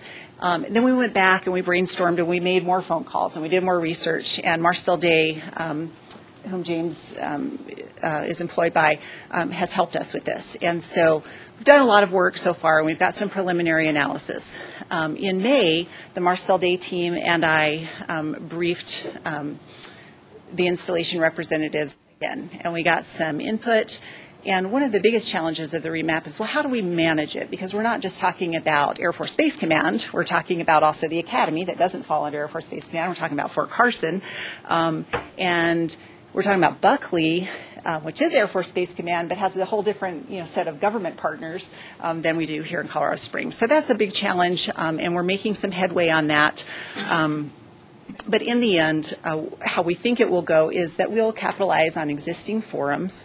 Um, there's already a stormwater task force, there's a transportation advisory committee. There are all these forums in place to work um, these types of issues. Um, we, we're just trying to plug in at the right places and with the right level of military leadership. Um, so we expect Marstel-Day to provide us with a written um, uh, draft um, toward the end of this month, and that then as we get toward the end of the summer into August, we will bring folks back together, um, the subject matter experts as well as some community leaders that we've been working with, um, the DMTF and um, uh, Business Alliance and so forth, and our installation commanders, and run those findings by them as well as how we'd like to manage them. So that's the synopsis of the remap. Um, are there any questions on that? Questions for Ms. Newman? Okay, maybe I missed it, but is the Air Force Academy included? Yes, ma'am. I, okay, then I did miss that. Okay. So um, Commissioner Clark, you had made reference to um, including all of the DoD um, sort of growth and requirements and that kind of um, thing in one look, and this is a step toward that. It, it doesn't um, meet the full need, um, but in terms of encroachment, um, this will accomplish um, looking at what the requirements are. So not so much the economic impact um, of you know, reductions in force that may be coming and so forth, but what are the existing requirements at this time that we need to do our mission, and how can we work with the community to uh, to get those resources? Mr. Chairman, may I? Please. Um, I I just wanted to um, mention, and I know that the county, um, gosh, what year was that? That was in probably 2005 when we first started talking with the, at that time, the uh, Economic Development Corporation, working on the buffer zone at Fort Carson um, with the Nature Conservancy, and as a result, we have a one and a half mile buffer zone now that's been created, which was, I think, one of the first of its kind in the nation.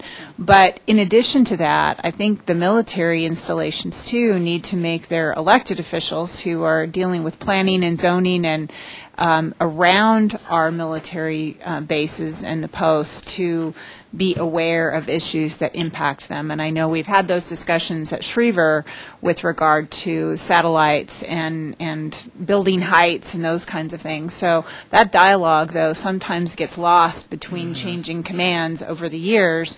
And somehow that needs to, I think, be something that's always at the forefront of us as elected officials and certainly our planning staff who um, helps us to write our various plans that, that how development operates within those areas surrounding those installations. Yes, ma'am. So I just bring that up, and I don't know that you're going to be able to solve that, but take that back if you can to the various, to our, our military installations and to the leadership to let them know that that's an important piece of that. If we don't know it's en- encroaching and a problem, we can't fix it before it happens, and then it's after the fact. Absolutely. Thank you for that. Um, So in terms of this remap, um, the good news on that front is that this is um, a report that will be um, monitored at the secretariat level to see how we are managing these issues and how we're working with the community, so to keep some visibility on it. Um, But more importantly, I think this establishes some processes. And so um, I I mentioned, you know, we're, um, the way we want to address these is to plug in um, at the right levels, to be more involved, um, to bring these things to the forefront, and to keep um, a culture of um, awareness and visibility. Um, So I hope this will be a step in the right direction on that, and thank you for that input. Councilmember Brown? Um, What about the Pueblo Army Depot?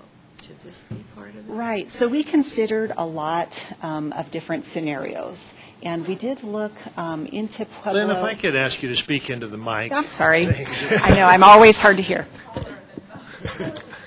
Just, here we go. Okay, sorry about that. Um, And so, um, in the end, um, we had to draw some boundaries. And so we looked at, you know, the different entities and what their challenges were and- and what um, the different entities, the installations have in common. And so we did end up drawing the line, um, you know, basically at Fort Carson and then up to Buckley. Um, To be quite honest, if we could do it again, I think we would leave Buckley out because there are so many complexities in working with an entirely different um, group of, you know, governing bodies there. But this is a pilot project. We're figuring out as we go. There are going to be, I think, lots of advantages shown from just regional management in general. Um, But to answer your question, you know, in the end, we just kind of had to draw a box and, and we stopped at Fort Carson. Yes, ma'am. Colonel Moore?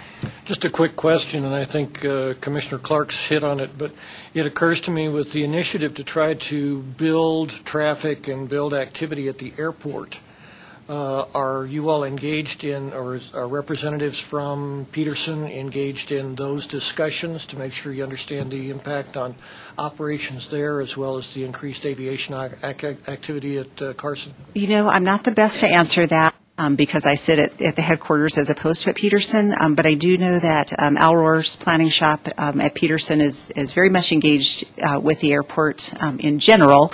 Um, so I, I, I feel um, fairly certain that they are, but I will certainly follow up and make sure that they're aware of that. Thank you. Councilmember Knight?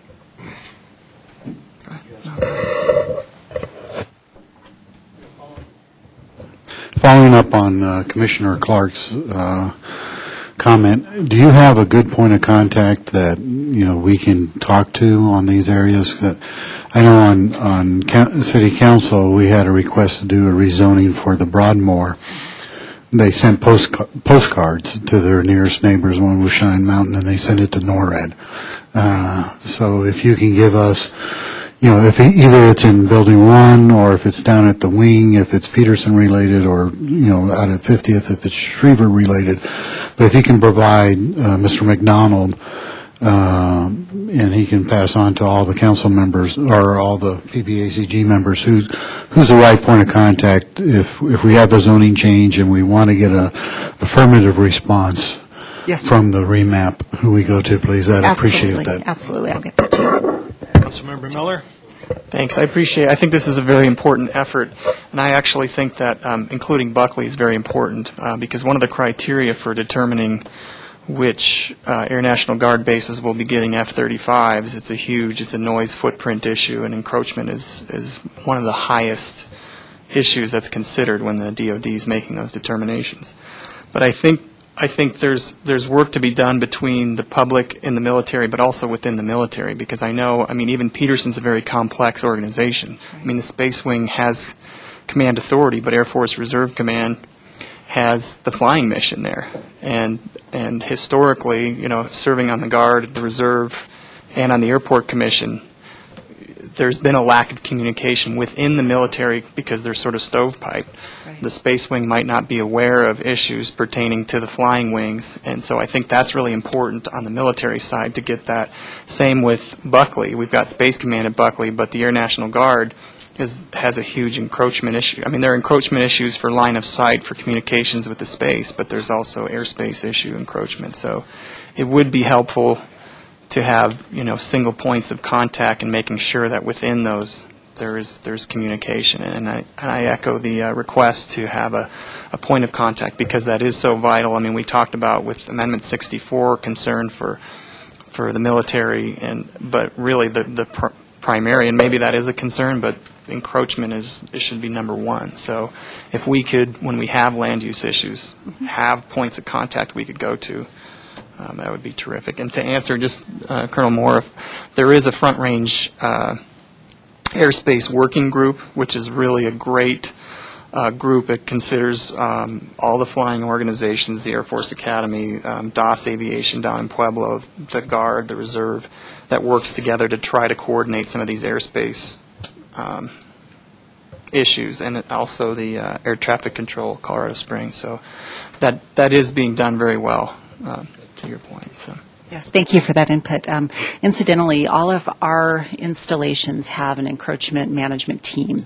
And so um, when I provide you the, the point of contact, we'll have a single person, um, but that person has access to an array of functional experts at the installation. So if you're calling for, um, you know, contacting them about a zoning issue or an airspace issue or a construction management issue, um, they'll be able to engage that team uh, and provide the correct information. So thank you for that. Thank you. Appreciate it. Yes, sir. Um, so I'll be very quick um, on the, the next initiative, the Community Partnerships Initiative. This is um, a new way of doing business for the Air Force, and the model is um, the Army's um, undertaking with the Presidio at Monterey. Some may be familiar with that, but um, in general, the City of Monterey has taken over most of the base services um, for the Presidio. And um, the Army, in partnership um, with the City of Monterey, has recognized um, many efficiencies um, in doing business. And so the Air Force has adopted um, this. It's it's very new. Um, this is this is the first fiscal year it's been done. Um, Secretary of the Air Force was able to fund 15 projects, um, and we've received two of those here locally um, at Buckley and Peterson. And um, basically, it's a, a huge collaboration effort um, where.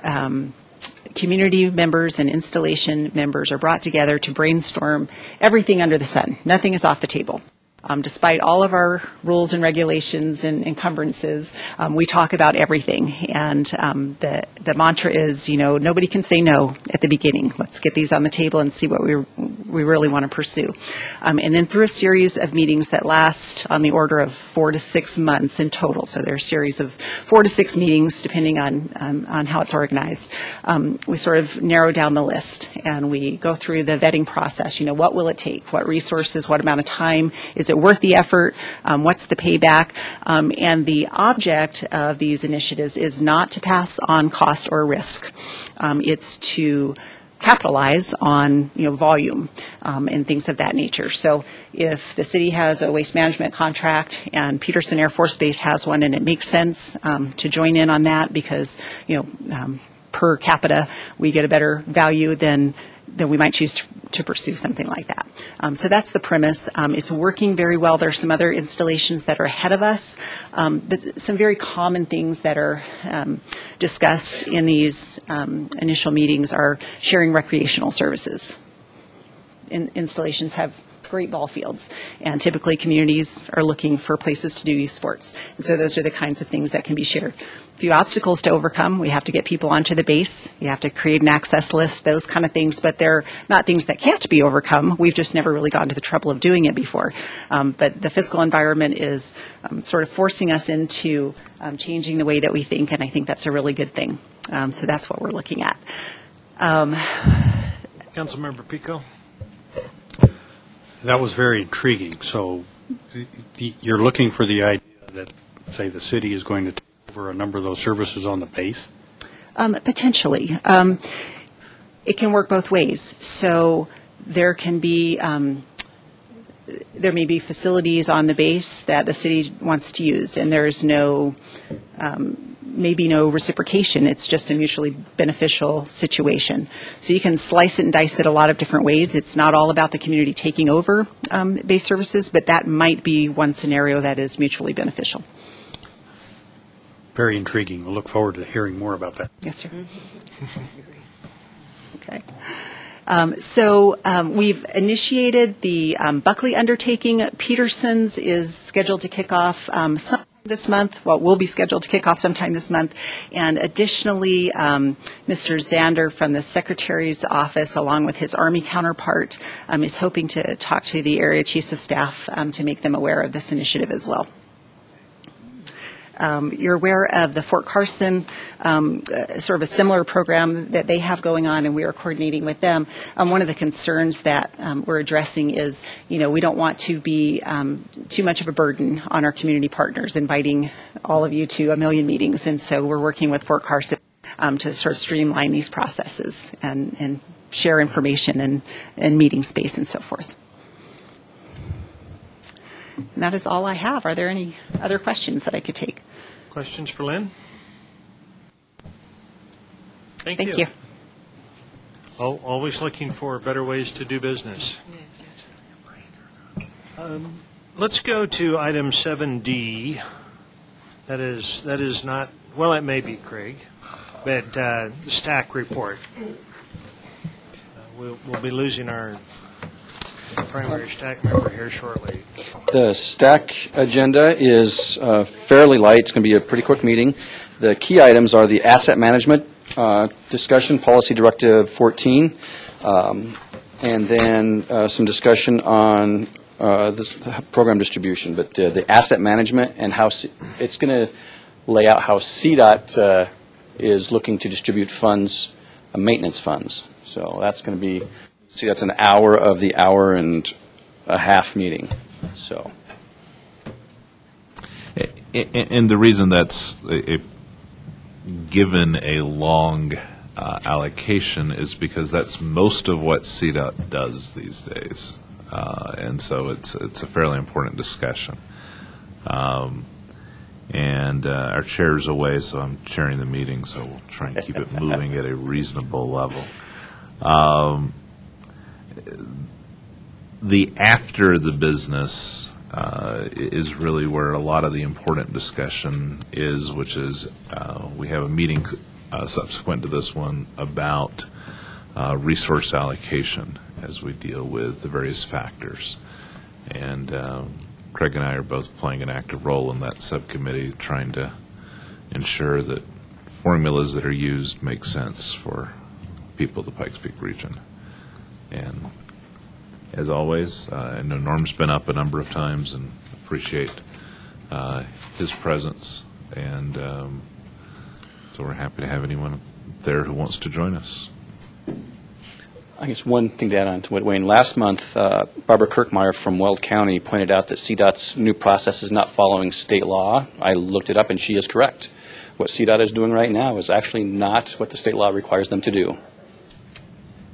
So, Looks like this allowing local input in favor of federal input in state budgets. Um, it's, well, it's, um, CDOT is adopting a very top-down approach to it, and state law requires a very bottom-up approach. Federal law is actually neutral. They say, here's the output you need. So. Very good. Other comments on STAC, upcoming STAC meeting? Thank you. Let's take a short break. Um, Try to be back in our seats in about six minutes. Can I see? I'm going to talk about projects for $500 million here shortly. Go ahead, keep going. Should- should- Should I? I mean, Yeah, go ahead. okay. Uh, Right. Uh, Last month, uh, Herman Stockinger from CDOT came before you and asked you for a list of projects for a possible ballot initiative in November of 2014. Um, Since then, we've had some preliminary discussions with our advisory committees on how to develop that list. You'll see Figure 1 is that, uh, is using our long-range transportation plan process and the uh, pri- priority projects that it identified to create that list. Uh, Figure 1, the shaded items are the projects you have identified by resolution as uh, high-priority projects in our region. The italicized projects are the projects that we have submitted ramp applications for. You'll see, in addition to those projects, we include US 24 widening and an uh, uh, from 8th Street to 21st Street, and uh, the Powers Central Freeway from Woodman to Carefree. Um, During the discussions with the TAC and CAC, uh, one of the suggestions made was instead of doing the Powers Central Freeway projects, let's look at the PPRTA renewal projects that are on state highways and substitute those projects for the Powers Central Freeway, and that is what you see as uh, the uh, Figure 2 priority list. Both of these uh, projects, are, um, when Herman was here, he asked for about $300 million worth of projects.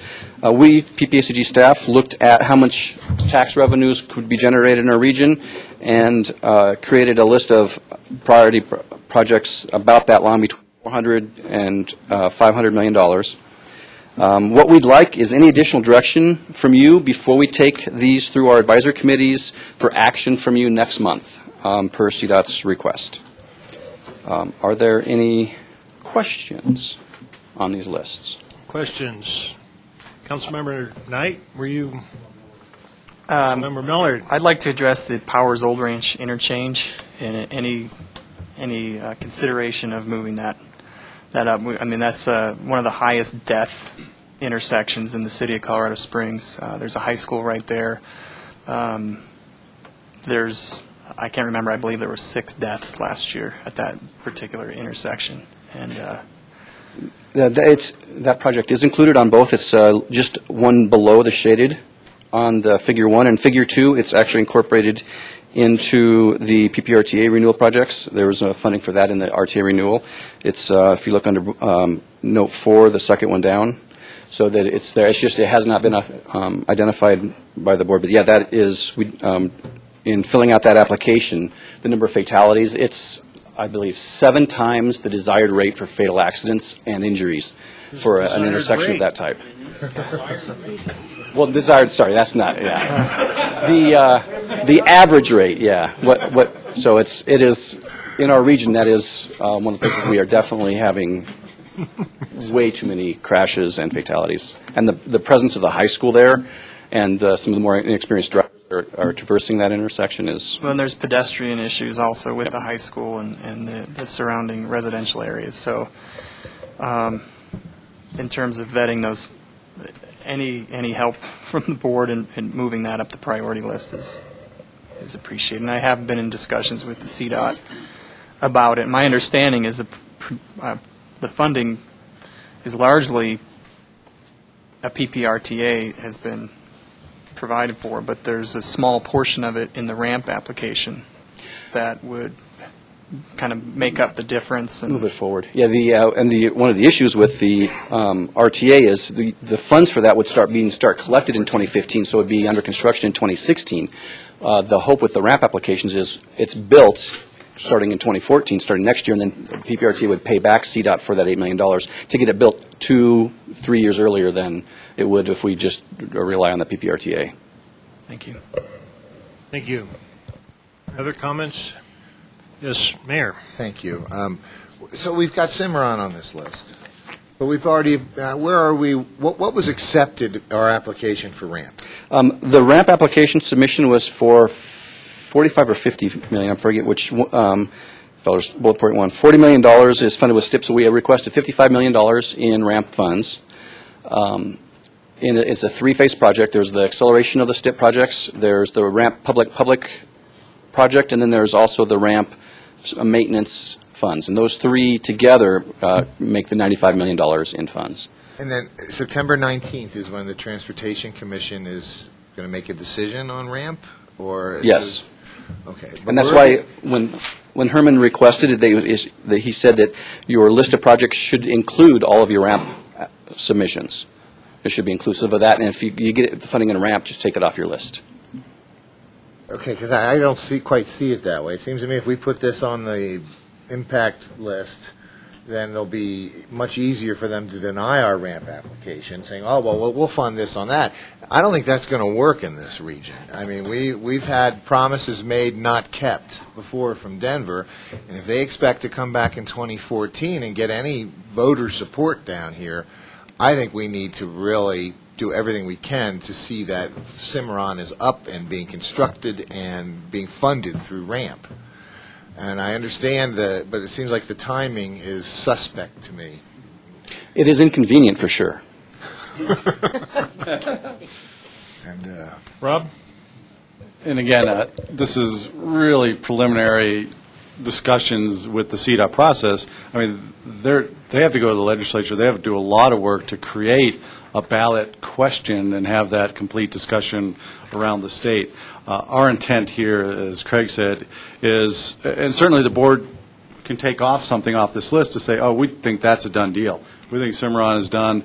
Don't put it forward as a future voter-approved list, because we anticipate before that vote even happens to be under construction with it. So the, what we did, again, is, these are the priorities as set out in the board, your decisions in a long-range plan, the six-year transportation improvement program, in your resolutions of a year ago or less, saying, if the board had three, four hundred million dollars, here are the priority projects.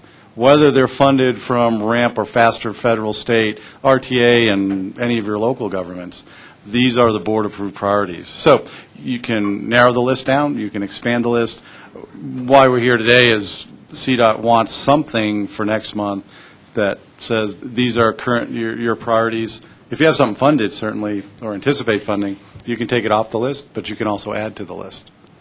And Craig, you'd like to have an idea from us which list, plus or minus projects to, to take through the CAC and the TAC? And plus or minus dollars, should we aim for 600 million? Should we cut it back to the 300 million that CDOT asked for? Any, any additional direction you would like to provide, we would be.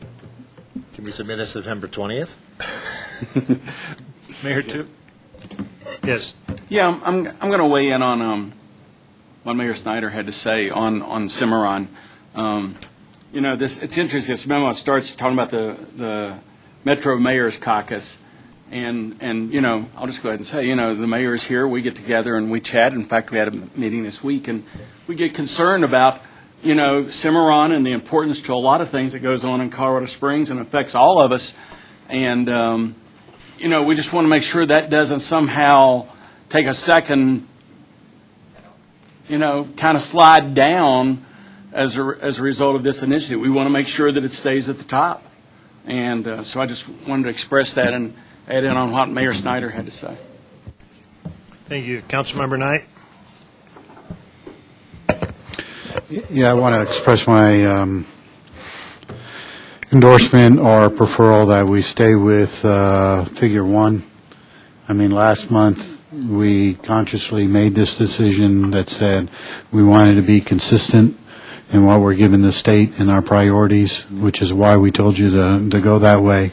And so if all of a sudden we're making some changes, uh, even though it's down at the bottom, then we're diverging from the direction we gave you last time, and, and, you know, we figured a consistent list to the state is, is our best approach now. Rather, we want to take Cimarron off the top because of the implications of that might hurt our chances with ramp. I'm, I don't have any problem with that, but changing the order or adding, substituting something in or something out for, uh, on a priority list that we already gave them, that, that I have a problem with. So I go for figure one.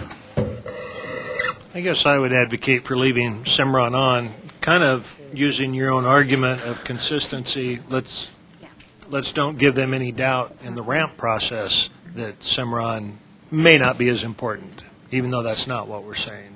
But Let's go to Mayor Easton. Would that be, I guess, coincident with your thoughts on, on not dilu- diluting the potential for someone to be funded?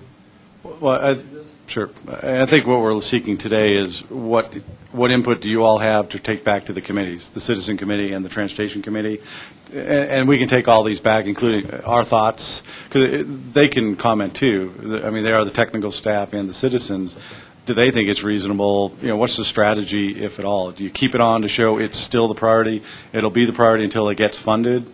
Or do you say, wait a minute, don't give anyone an opportunity to say, you know, why don't you wait for this future possible, maybe ballot initiative to fund your top priority? Mm-hmm. And so, again, we're we're just wanting to get the input from the board, take it back to the folks. CDOT's at that discussion as well, and so they may have input from the ramp process. They may have impact from some of the other projects on here that are seeking other funds, because we, we do have Tiger Five for Fillmore, and there are RTA funds in here. So as you can see on both figures, we knocked off I-25 widening, It was a priority, but now it's being built.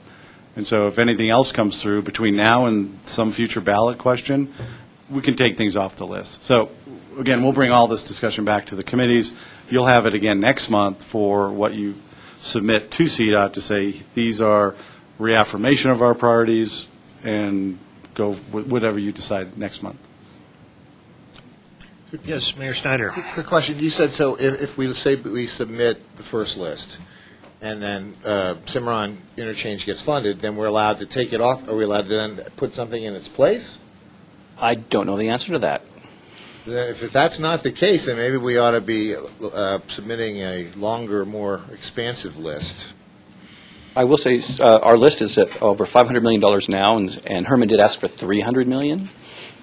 So our list is, yeah. Well, I'm asking for 600. Well, I'm asking for the 600 million that we Yeah. were supposed to have gotten over the last 10 years, so. I Yeah, that- and uh, that, that's enough. Commissioner Clark? Um, I- Yeah, I- it's not going to be any surprise to anyone that I'm, I think we stay with what we have. I think if we start taking Cimarron off, it's going to send a mixed message that it's not, I mean, somebody could misinterpret that, and I don't, I don't want any chances, and I, I think it's wonderful that the, that folks are looking at other opportunities to fund transportation, but um, uh, hope springs eternal, and I just think it's really important that, that we need to keep Cimarron on that list at the very top. And, and I'm, so I'm for, for keeping our current priorities list, and if we're successful in ramp and other things happen, then we can, we can then cross that off, just like we crossed off I-25 widening and on the um, State Highway 83 to I-25, and, and we can rearrange, but I think we leave it in place, otherwise it's sending a mixed message, and, and I don't want to confuse anybody with the list that they see to say, oh, look, now Cimarron's not on that list, so it must not be your highest priority anymore. Commissioner Dowaliby? I- agree with Sallie on the, on leaving the list the same. I have a question. When, when we went for this, when this, uh, when you got your transportation funding here. I- uh, The RTA? Did you specifically say what you're going to spend the money on? You did? So you gave a list of projects, and that's how they got, and that's how the voters voted for it? Mhm. Okay. That, that was my question, because I, I, it feels like, if, if your street isn't on it, or your road isn't on it, it feels like you're going to vote against it.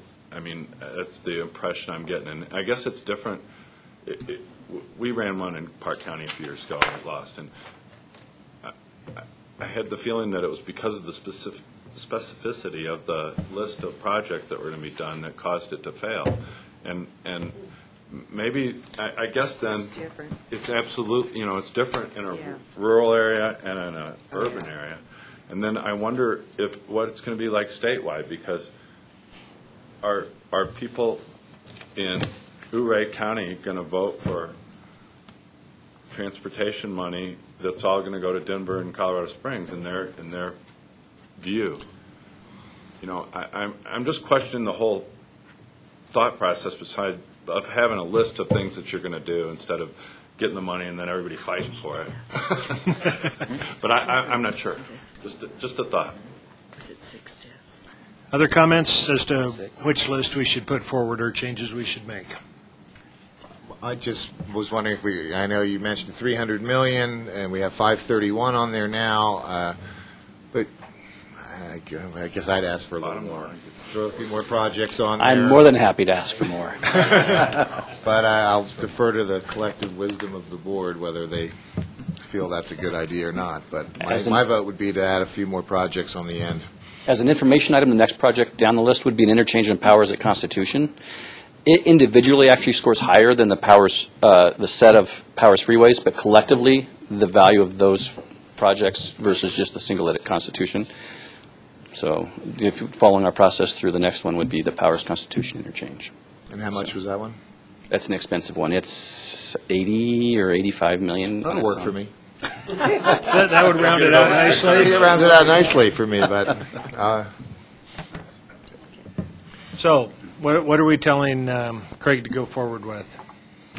I've heard List one? I think figure list one, one. figure, Yeah, figure figure one plus the Constitution. One. Yeah. Okay. Perfect. Thank you very Let's much. see what, what your groups come back with. Okay. Thank you. Number one. Seven C, good for them. Seven C is our um, ramp applications update. Um, Sort of continuing the discussion, uh, we submitted, on July 1st, we submitted the uh, projects uh, for uh, f- the final applications for ramp funding. Um, The, net- we are listening, we have not heard anything since then, we submitted them, got an acknowledgement of receipt, um, and that is it. We've received your email. Yes. Okay. Um, The uh, next steps, um, over the next month, uh, CDOT has a subject matter expert panel that is going through all the applications, and they're giving each uh, application a highly recommended, recommended, or not recommended status. After they complete that, a week later, there will be the um, operations, the senior staff will go through and then hard rank those projects, 1 to 203. Um, My expectation is the projects that receive a highly recommended will be ranked, the lowest of those will still be above the recommended status, but I honestly don't know. Um, They will, um, the funding that we're going after the partnership, there will actually be, uh, I guess, separate rankings between the public-public projects and the public-private projects, which brings up an issue. The rumors we've heard is they're going to split those funds 50/50, except there were only 23 public-private applications and there were 180 public-public applications. So if you're a- submitted a public-private application, your chances are, you know, seem to be much better than a public-public application. Um, After those those rankings, it goes to the uh, RAMP Sponsor Coalition, the executive team at CDOT, and they uh, look through the recommendations in the ranking and then make a recommendation to the executive director of CDOT. Um, And then that is what is taken to the STAC. Um, th- The uh, interesting thing to note is that that last recommendation will be inclusive of non-technical factors such as geographic and rural urban, rural-urban equity. So it's like, we- we've got a very quanti, you know, the hard, you know, here's the ranking, and then here's, we're, we look at the map and say, okay, make sure we spread the peanut butter around. So, um, any questions? Other than that, that is literally all we know right now. Um, In that case, there's probably not much point in asking too many more questions. Yeah, I Well, thank you. Yep. Obviously, we are anxiously awaiting, so, so if you hear anything, let Well, us know. uh, my expectation is that we submitted uh, the six best projects that, uh, statewide, so. I agree with you. 7E, Regional Non-Motorized Plan Update. Um, Actually, as some of you know, we kicked off our regional non-motorized plan, uh, public involvement at the Bike to Work Day. We signed up over 300 interested citizens in um, participating in our project. We're taking a little bit of a different approach this time. It's a much more collaborative process. We have funding partners, uh, City of Colorado Springs, El Paso County, Woodland Park, and the Trails and Open Space Coalition. Um, In the case of the public entities, they're in the process of updating their own uh, sidewalk, non-motorized plan, and so it's more cost-effective for us to do our plan and their plan together. It also ensures that our plans are integrated, coordinated, you know, all those, all those good words. Um, The, uh, one of the key factors we're looking for in this is to get more outreach to the general public. Uh, Last time, one of the comments was, we talked to, you know, for lack of a better term, the spandex crowd, the bicycle clubs, and not the, uh, um, not the general public. And so we're trying to figure out, I wear spandex too. if you have more than one set. Spandex is okay, but if you have more than one set, then you, so. um, I definitely have more than one set. So, um, and so it beca- it uh, it did it wasn't as uh, broad based. It wasn't as um, potentially useful as you know as across the population spectrum as, as it could have been. So we're we're loo- looking at the team we hired uh, is really going to focus on that. They're actually bringing some of the Web 2.0, where if you have a smartphone, you take a picture of it. Smartphones geo-reference the picture. You put a comment on it, submit it to our website, and it pops up on the map for everybody to see and comment on. So everybody can see, yeah, there's this, there's a connection. How do I get across Academy Boulevard here? And so that will, uh, we'll get a lot of that um, outreach uh, from the public, uh, ideally. Uh, Question. Commissioner I've- Clark. I have kind of a strange question. Somebody called me the other day um, with regard to Segways, the little two-wheel thing, Segways, whatever they're called. Um, I've just been on them a couple of times. is that part of our non-motorized transportation? Because they take up sidewalk space, road space, and yet they're becoming a great draw for people who want to see parts of, of your community without riding a bike or getting in a car. I guess the answer to that is yes and no. Um, They are allowed in the uh, bike lanes on, on the on-road, but they are not allowed on trails. Um, They're, because they're a motorized vehicle, so they're not technically allowed on trails. Um, I'm just saying that maybe that, I mean, uh, we need to think about the changing types of transportation, and that's one of them that's becoming very popular in cities all over the country who uh, want to bring in those tourists and, and want to do all kinds of touring, so. Well, with the Trails and Open Space Coalition, what they're actually um, partnered with us on is an economic impact study of non-motorized systems in our region and the potential benefits, you know, of drawing additional tourists, you know, on our, like, a, um, up to Pikes Peak or trails um, connecting to the Alpine Loop, I believe it's called. Um, And so we were looking at what is the potential economic impact of investments that could bring in, the- you know, what's the, I guess, the magnifier of bringing those in. So we, um, that would be part of that tourism impact, I believe. So, Well, I just, I think it needs to be considered, because it it is a draw. They are a draw, and, There- There's studies in Wisconsin and Minnesota that show just incredible amount of yeah. of tourism brought in and, and money brought in from really pretty minor bike paths that aren't, you know, anything like. Well, and I had somebody who approached me about using them in Old Colorado City, and I don't, you know, I don't know what the, yeah, I see, I don't believe they're allowed on sidewalks or, and I know they're not allowed on the trails. The- But at the bike lanes, I'm pretty sure they can, they can travel in. but if you don't have a bike lane, where do you put them? Yeah, exactly. Mayor Snyder? Well, I think state law says anything 50 CCs or less, including segways and those scooters, um, have have the same rights as bicyclists on, on state, on the roads, Okay. roadways. But you, I think you may be correct on the uh, trails. Certainly, they're not allowed there, but. Councilmember Miller? Yeah, and I uh, received a number of emails about the longboard issue, which I think that one's growing also. So I I don't know if that's something that's in the non-motorized. We've stayed away from that. We can definitely address it. Um, w- From the regional standpoint, we try to let the locals, because we could, it could be that the Colorado Springs deals with differently than Green Mountain Falls or Palmer Lake. Um, We can definitely, as part of our operational, that is well within our purview. We have chosen previously, we, you, not to get into that debate and let the local entities. They're totally used on the, on the Breckenridge Bike Path, and they're amazingly efficient vehicles. The, when you're coming down from Copper Mountain to, into Frisco, they're going 30 miles an hour just cruising along, and they're not pedaling or anything. I'm, I mean, I'm pedaling to keep up with them. And, and, and going from Breck down to Frisco, same thing. They're cruising along, keeping the same speeds. It- It's on the downhill that they're, you know, they have their efficiency, but it's an amazing vehicle. They really do travel well. Surprised me. So we can definitely make sure to include that. I think that would be helpful, at least to consider it. Okay. What else, Craig? Um, That is it. Uh, If you, uh, for additional information, we have lots and lots of these. If you, if anybody desires them, let us know, and we will get you, we'll be like Kate, here's a pack, go around, take, take some, so. But it's about a 15-month process. Um, It'll coordinate with the adoption of our regional overall transportation plan. Thank you.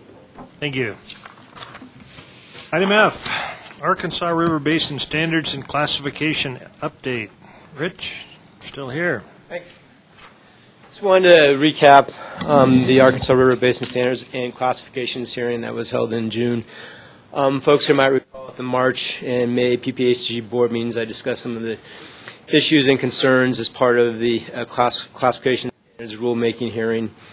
Um, The hearing was in June, and, and um, the pertinent uh, decisions that were made were included in the memo.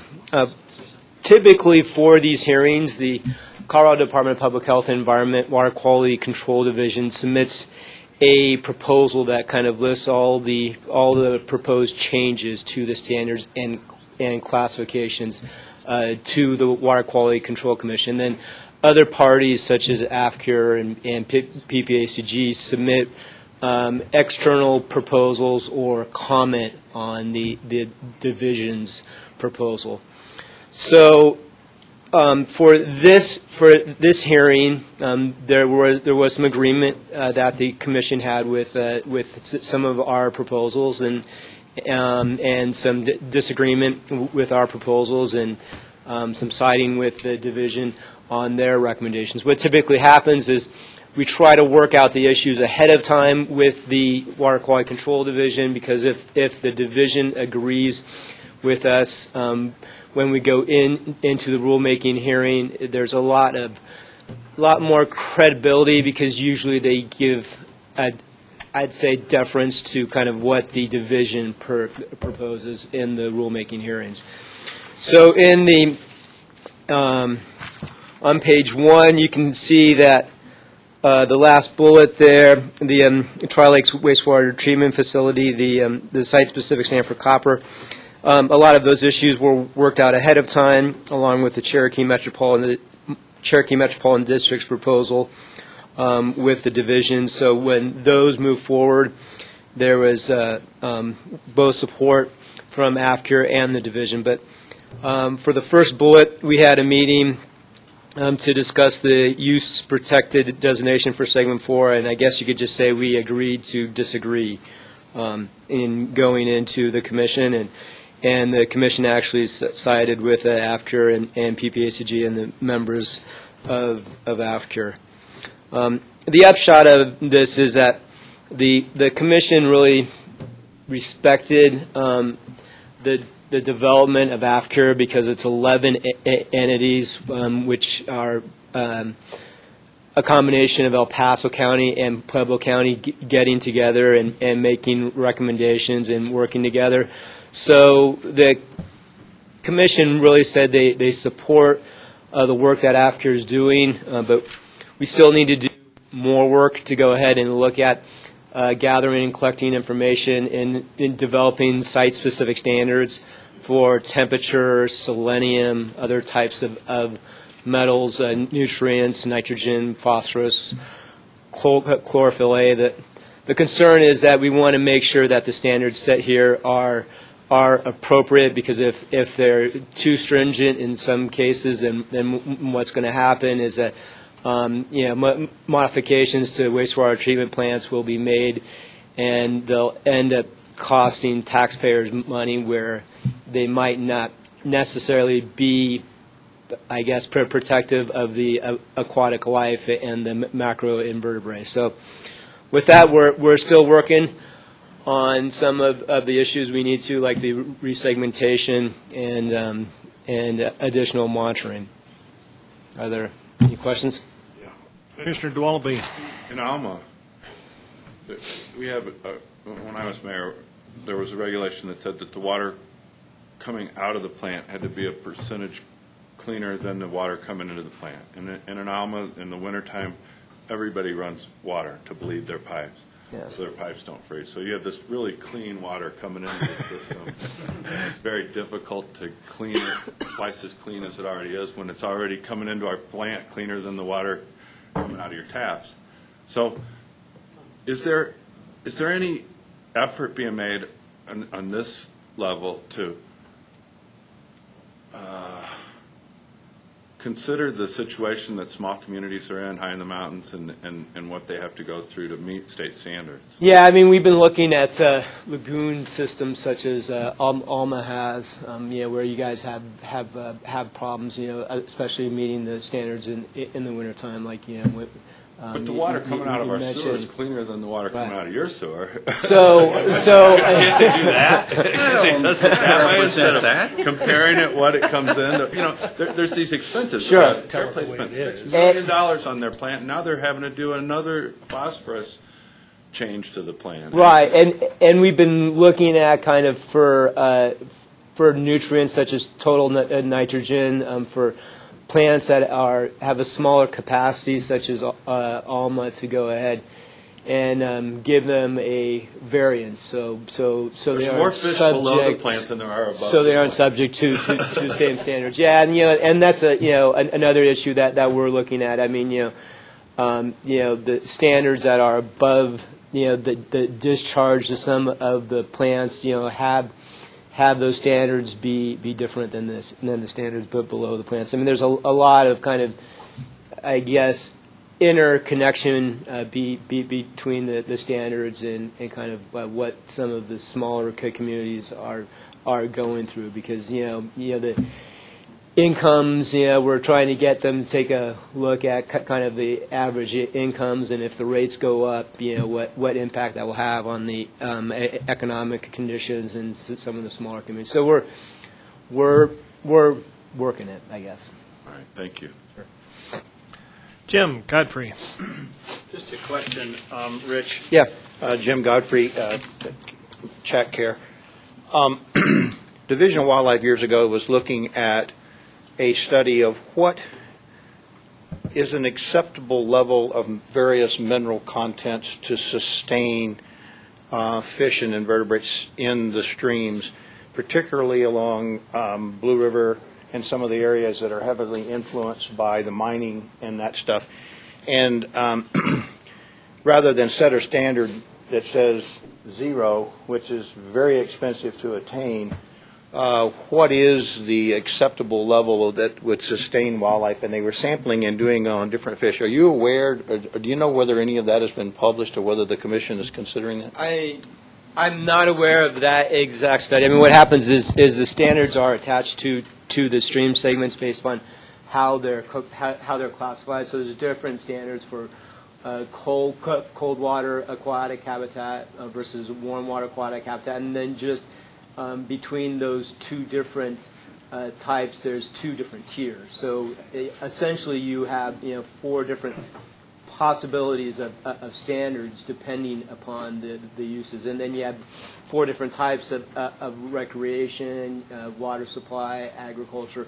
Just all depends what, what the standards, what the classified uses are to how those standards are attached. So I'm not familiar with that particular study, but I, I can uh, go, go ahead and, and, Guys in Fort Collins. and uh, get, get together with you, uh, try to find out. Other comments? Rich, anything else? No, that's it. Thank you. Thanks. Item eight is member entity announcements. Anything for the good of the group?